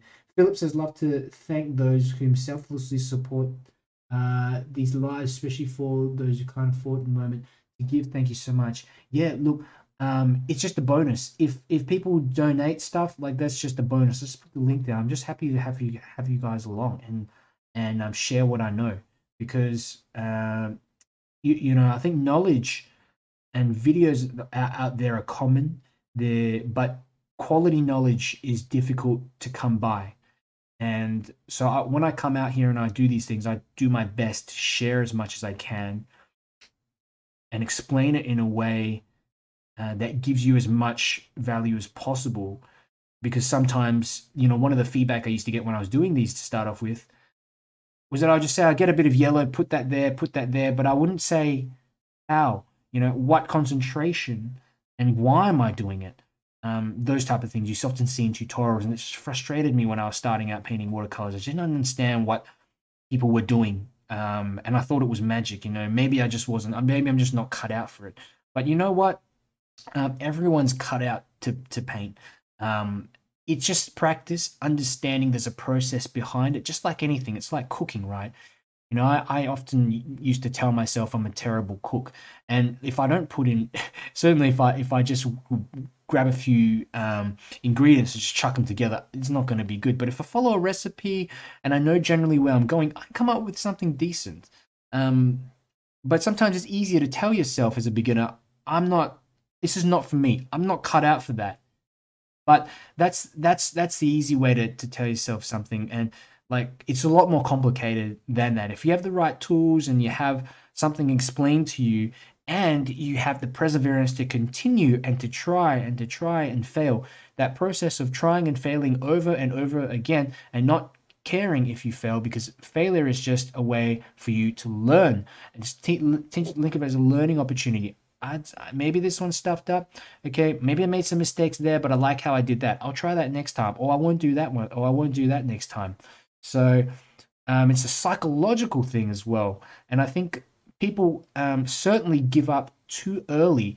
And um, I, hope I can help to build that kind of resilience and help sort of uh, pump you up a little bit and and let you know this took a very long time to be to do this. It took an extremely long time. I, have got a long way to go myself in terms of my art you know, I, I my art journey, I, I really want to start doing uh, more complex scenes. I want to be more patient with my art as well. I find that I'm too gung ho at times, going in and just doing things quick. But if I if I can build a bit more patience with my artwork, I, I think I can take it to a, to a next to a next level. So there's things I got to work on as well.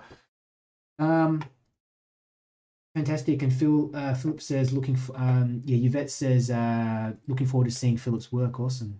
Great. Thanks for thanks for supporting uh, Yvette and uh, Philip says glad join the community and so nice to find like-minded people who are pleasant to interact with.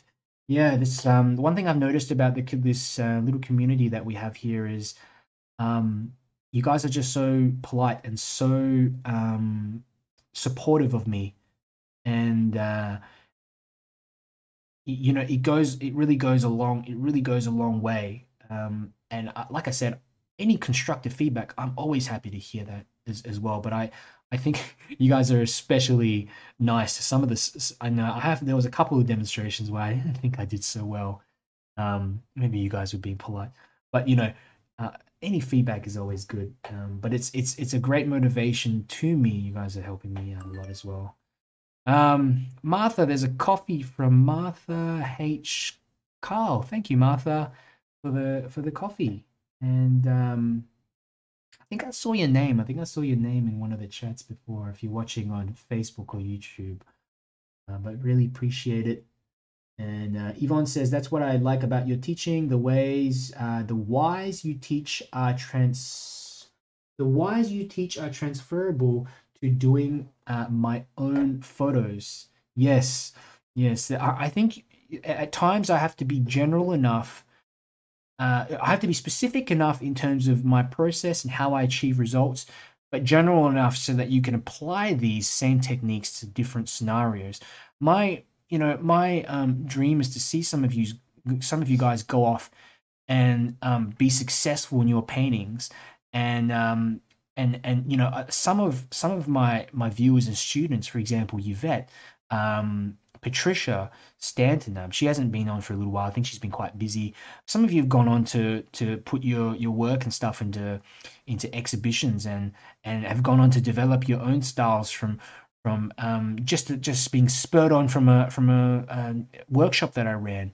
Yeah, and and I, I love that. I think it's um, I wish you all the success and and um, it's it's such a amazing thing when you can um, have your artwork out there, have the confidence to put your artwork out there at once, and then also have other people that appreciate it to the point that they are willing to um, to pay for it or to view it in an exhibition. I think that's such a such a rewarding such a rewarding thing.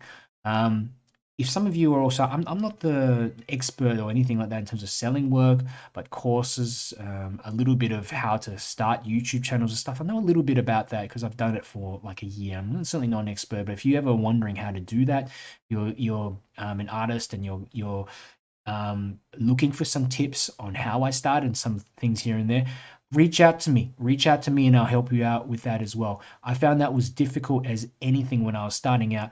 I, I tried reaching out to a couple of artists that I that I watched and they didn't respond to me, and um, or they kind of like um, they were not very uh, polite to me. So if I see your message and um, you know while I while I'm relatively I don't have a huge amount of followers and you're wondering how did I get to this point where I'm doing these lives and doing all this stuff and you know having some of my courses up i'm happy to share how i how i did that um, i don't know if that's interesting for some of you though because i know a lot of people who watch these videos you're here just to watch these tutorials and learn about watercolors but at the same time i know you know nikki nikki's interested in, in some of that content so um, you know, even if I don't have any of those videos out, sometimes I'm be pretty busy. Uh, Nikki, you can always just contact me, message me, and I'll give you a hand. Um, if you want a bit more information, I'm always happy to share that and uh, wish you all the the success. I, I want you to even do better than me. If you end up if you end up um, you know having a million followers and and um, becoming a better artist, not better, but like you know have, having um, you know fantastic artwork out there, and you end up having your own um, sort of channel and stuff. That's that's power to you. I would love I would love to help out. So.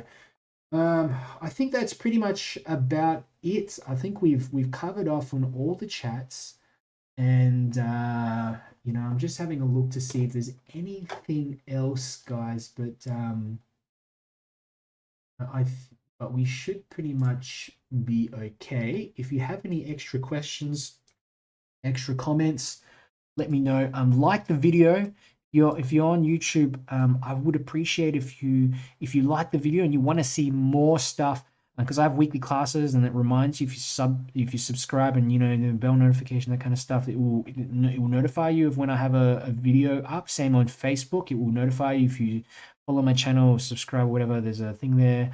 Uh, people ask when the, the, the lives. They're often um, at the moment I'm doing them Wednesdays and Saturdays. So I'll continue doing them on Wednesdays and Saturdays um, for the foreseeable future. You know, I may reduce them down um, later depending on how we go, whether in time constraints and stuff like that. I'm working a few things as well, but I'll always have some free ones that go up, and because uh, I just I love interacting with a lot of you guys out here, and that's helping you.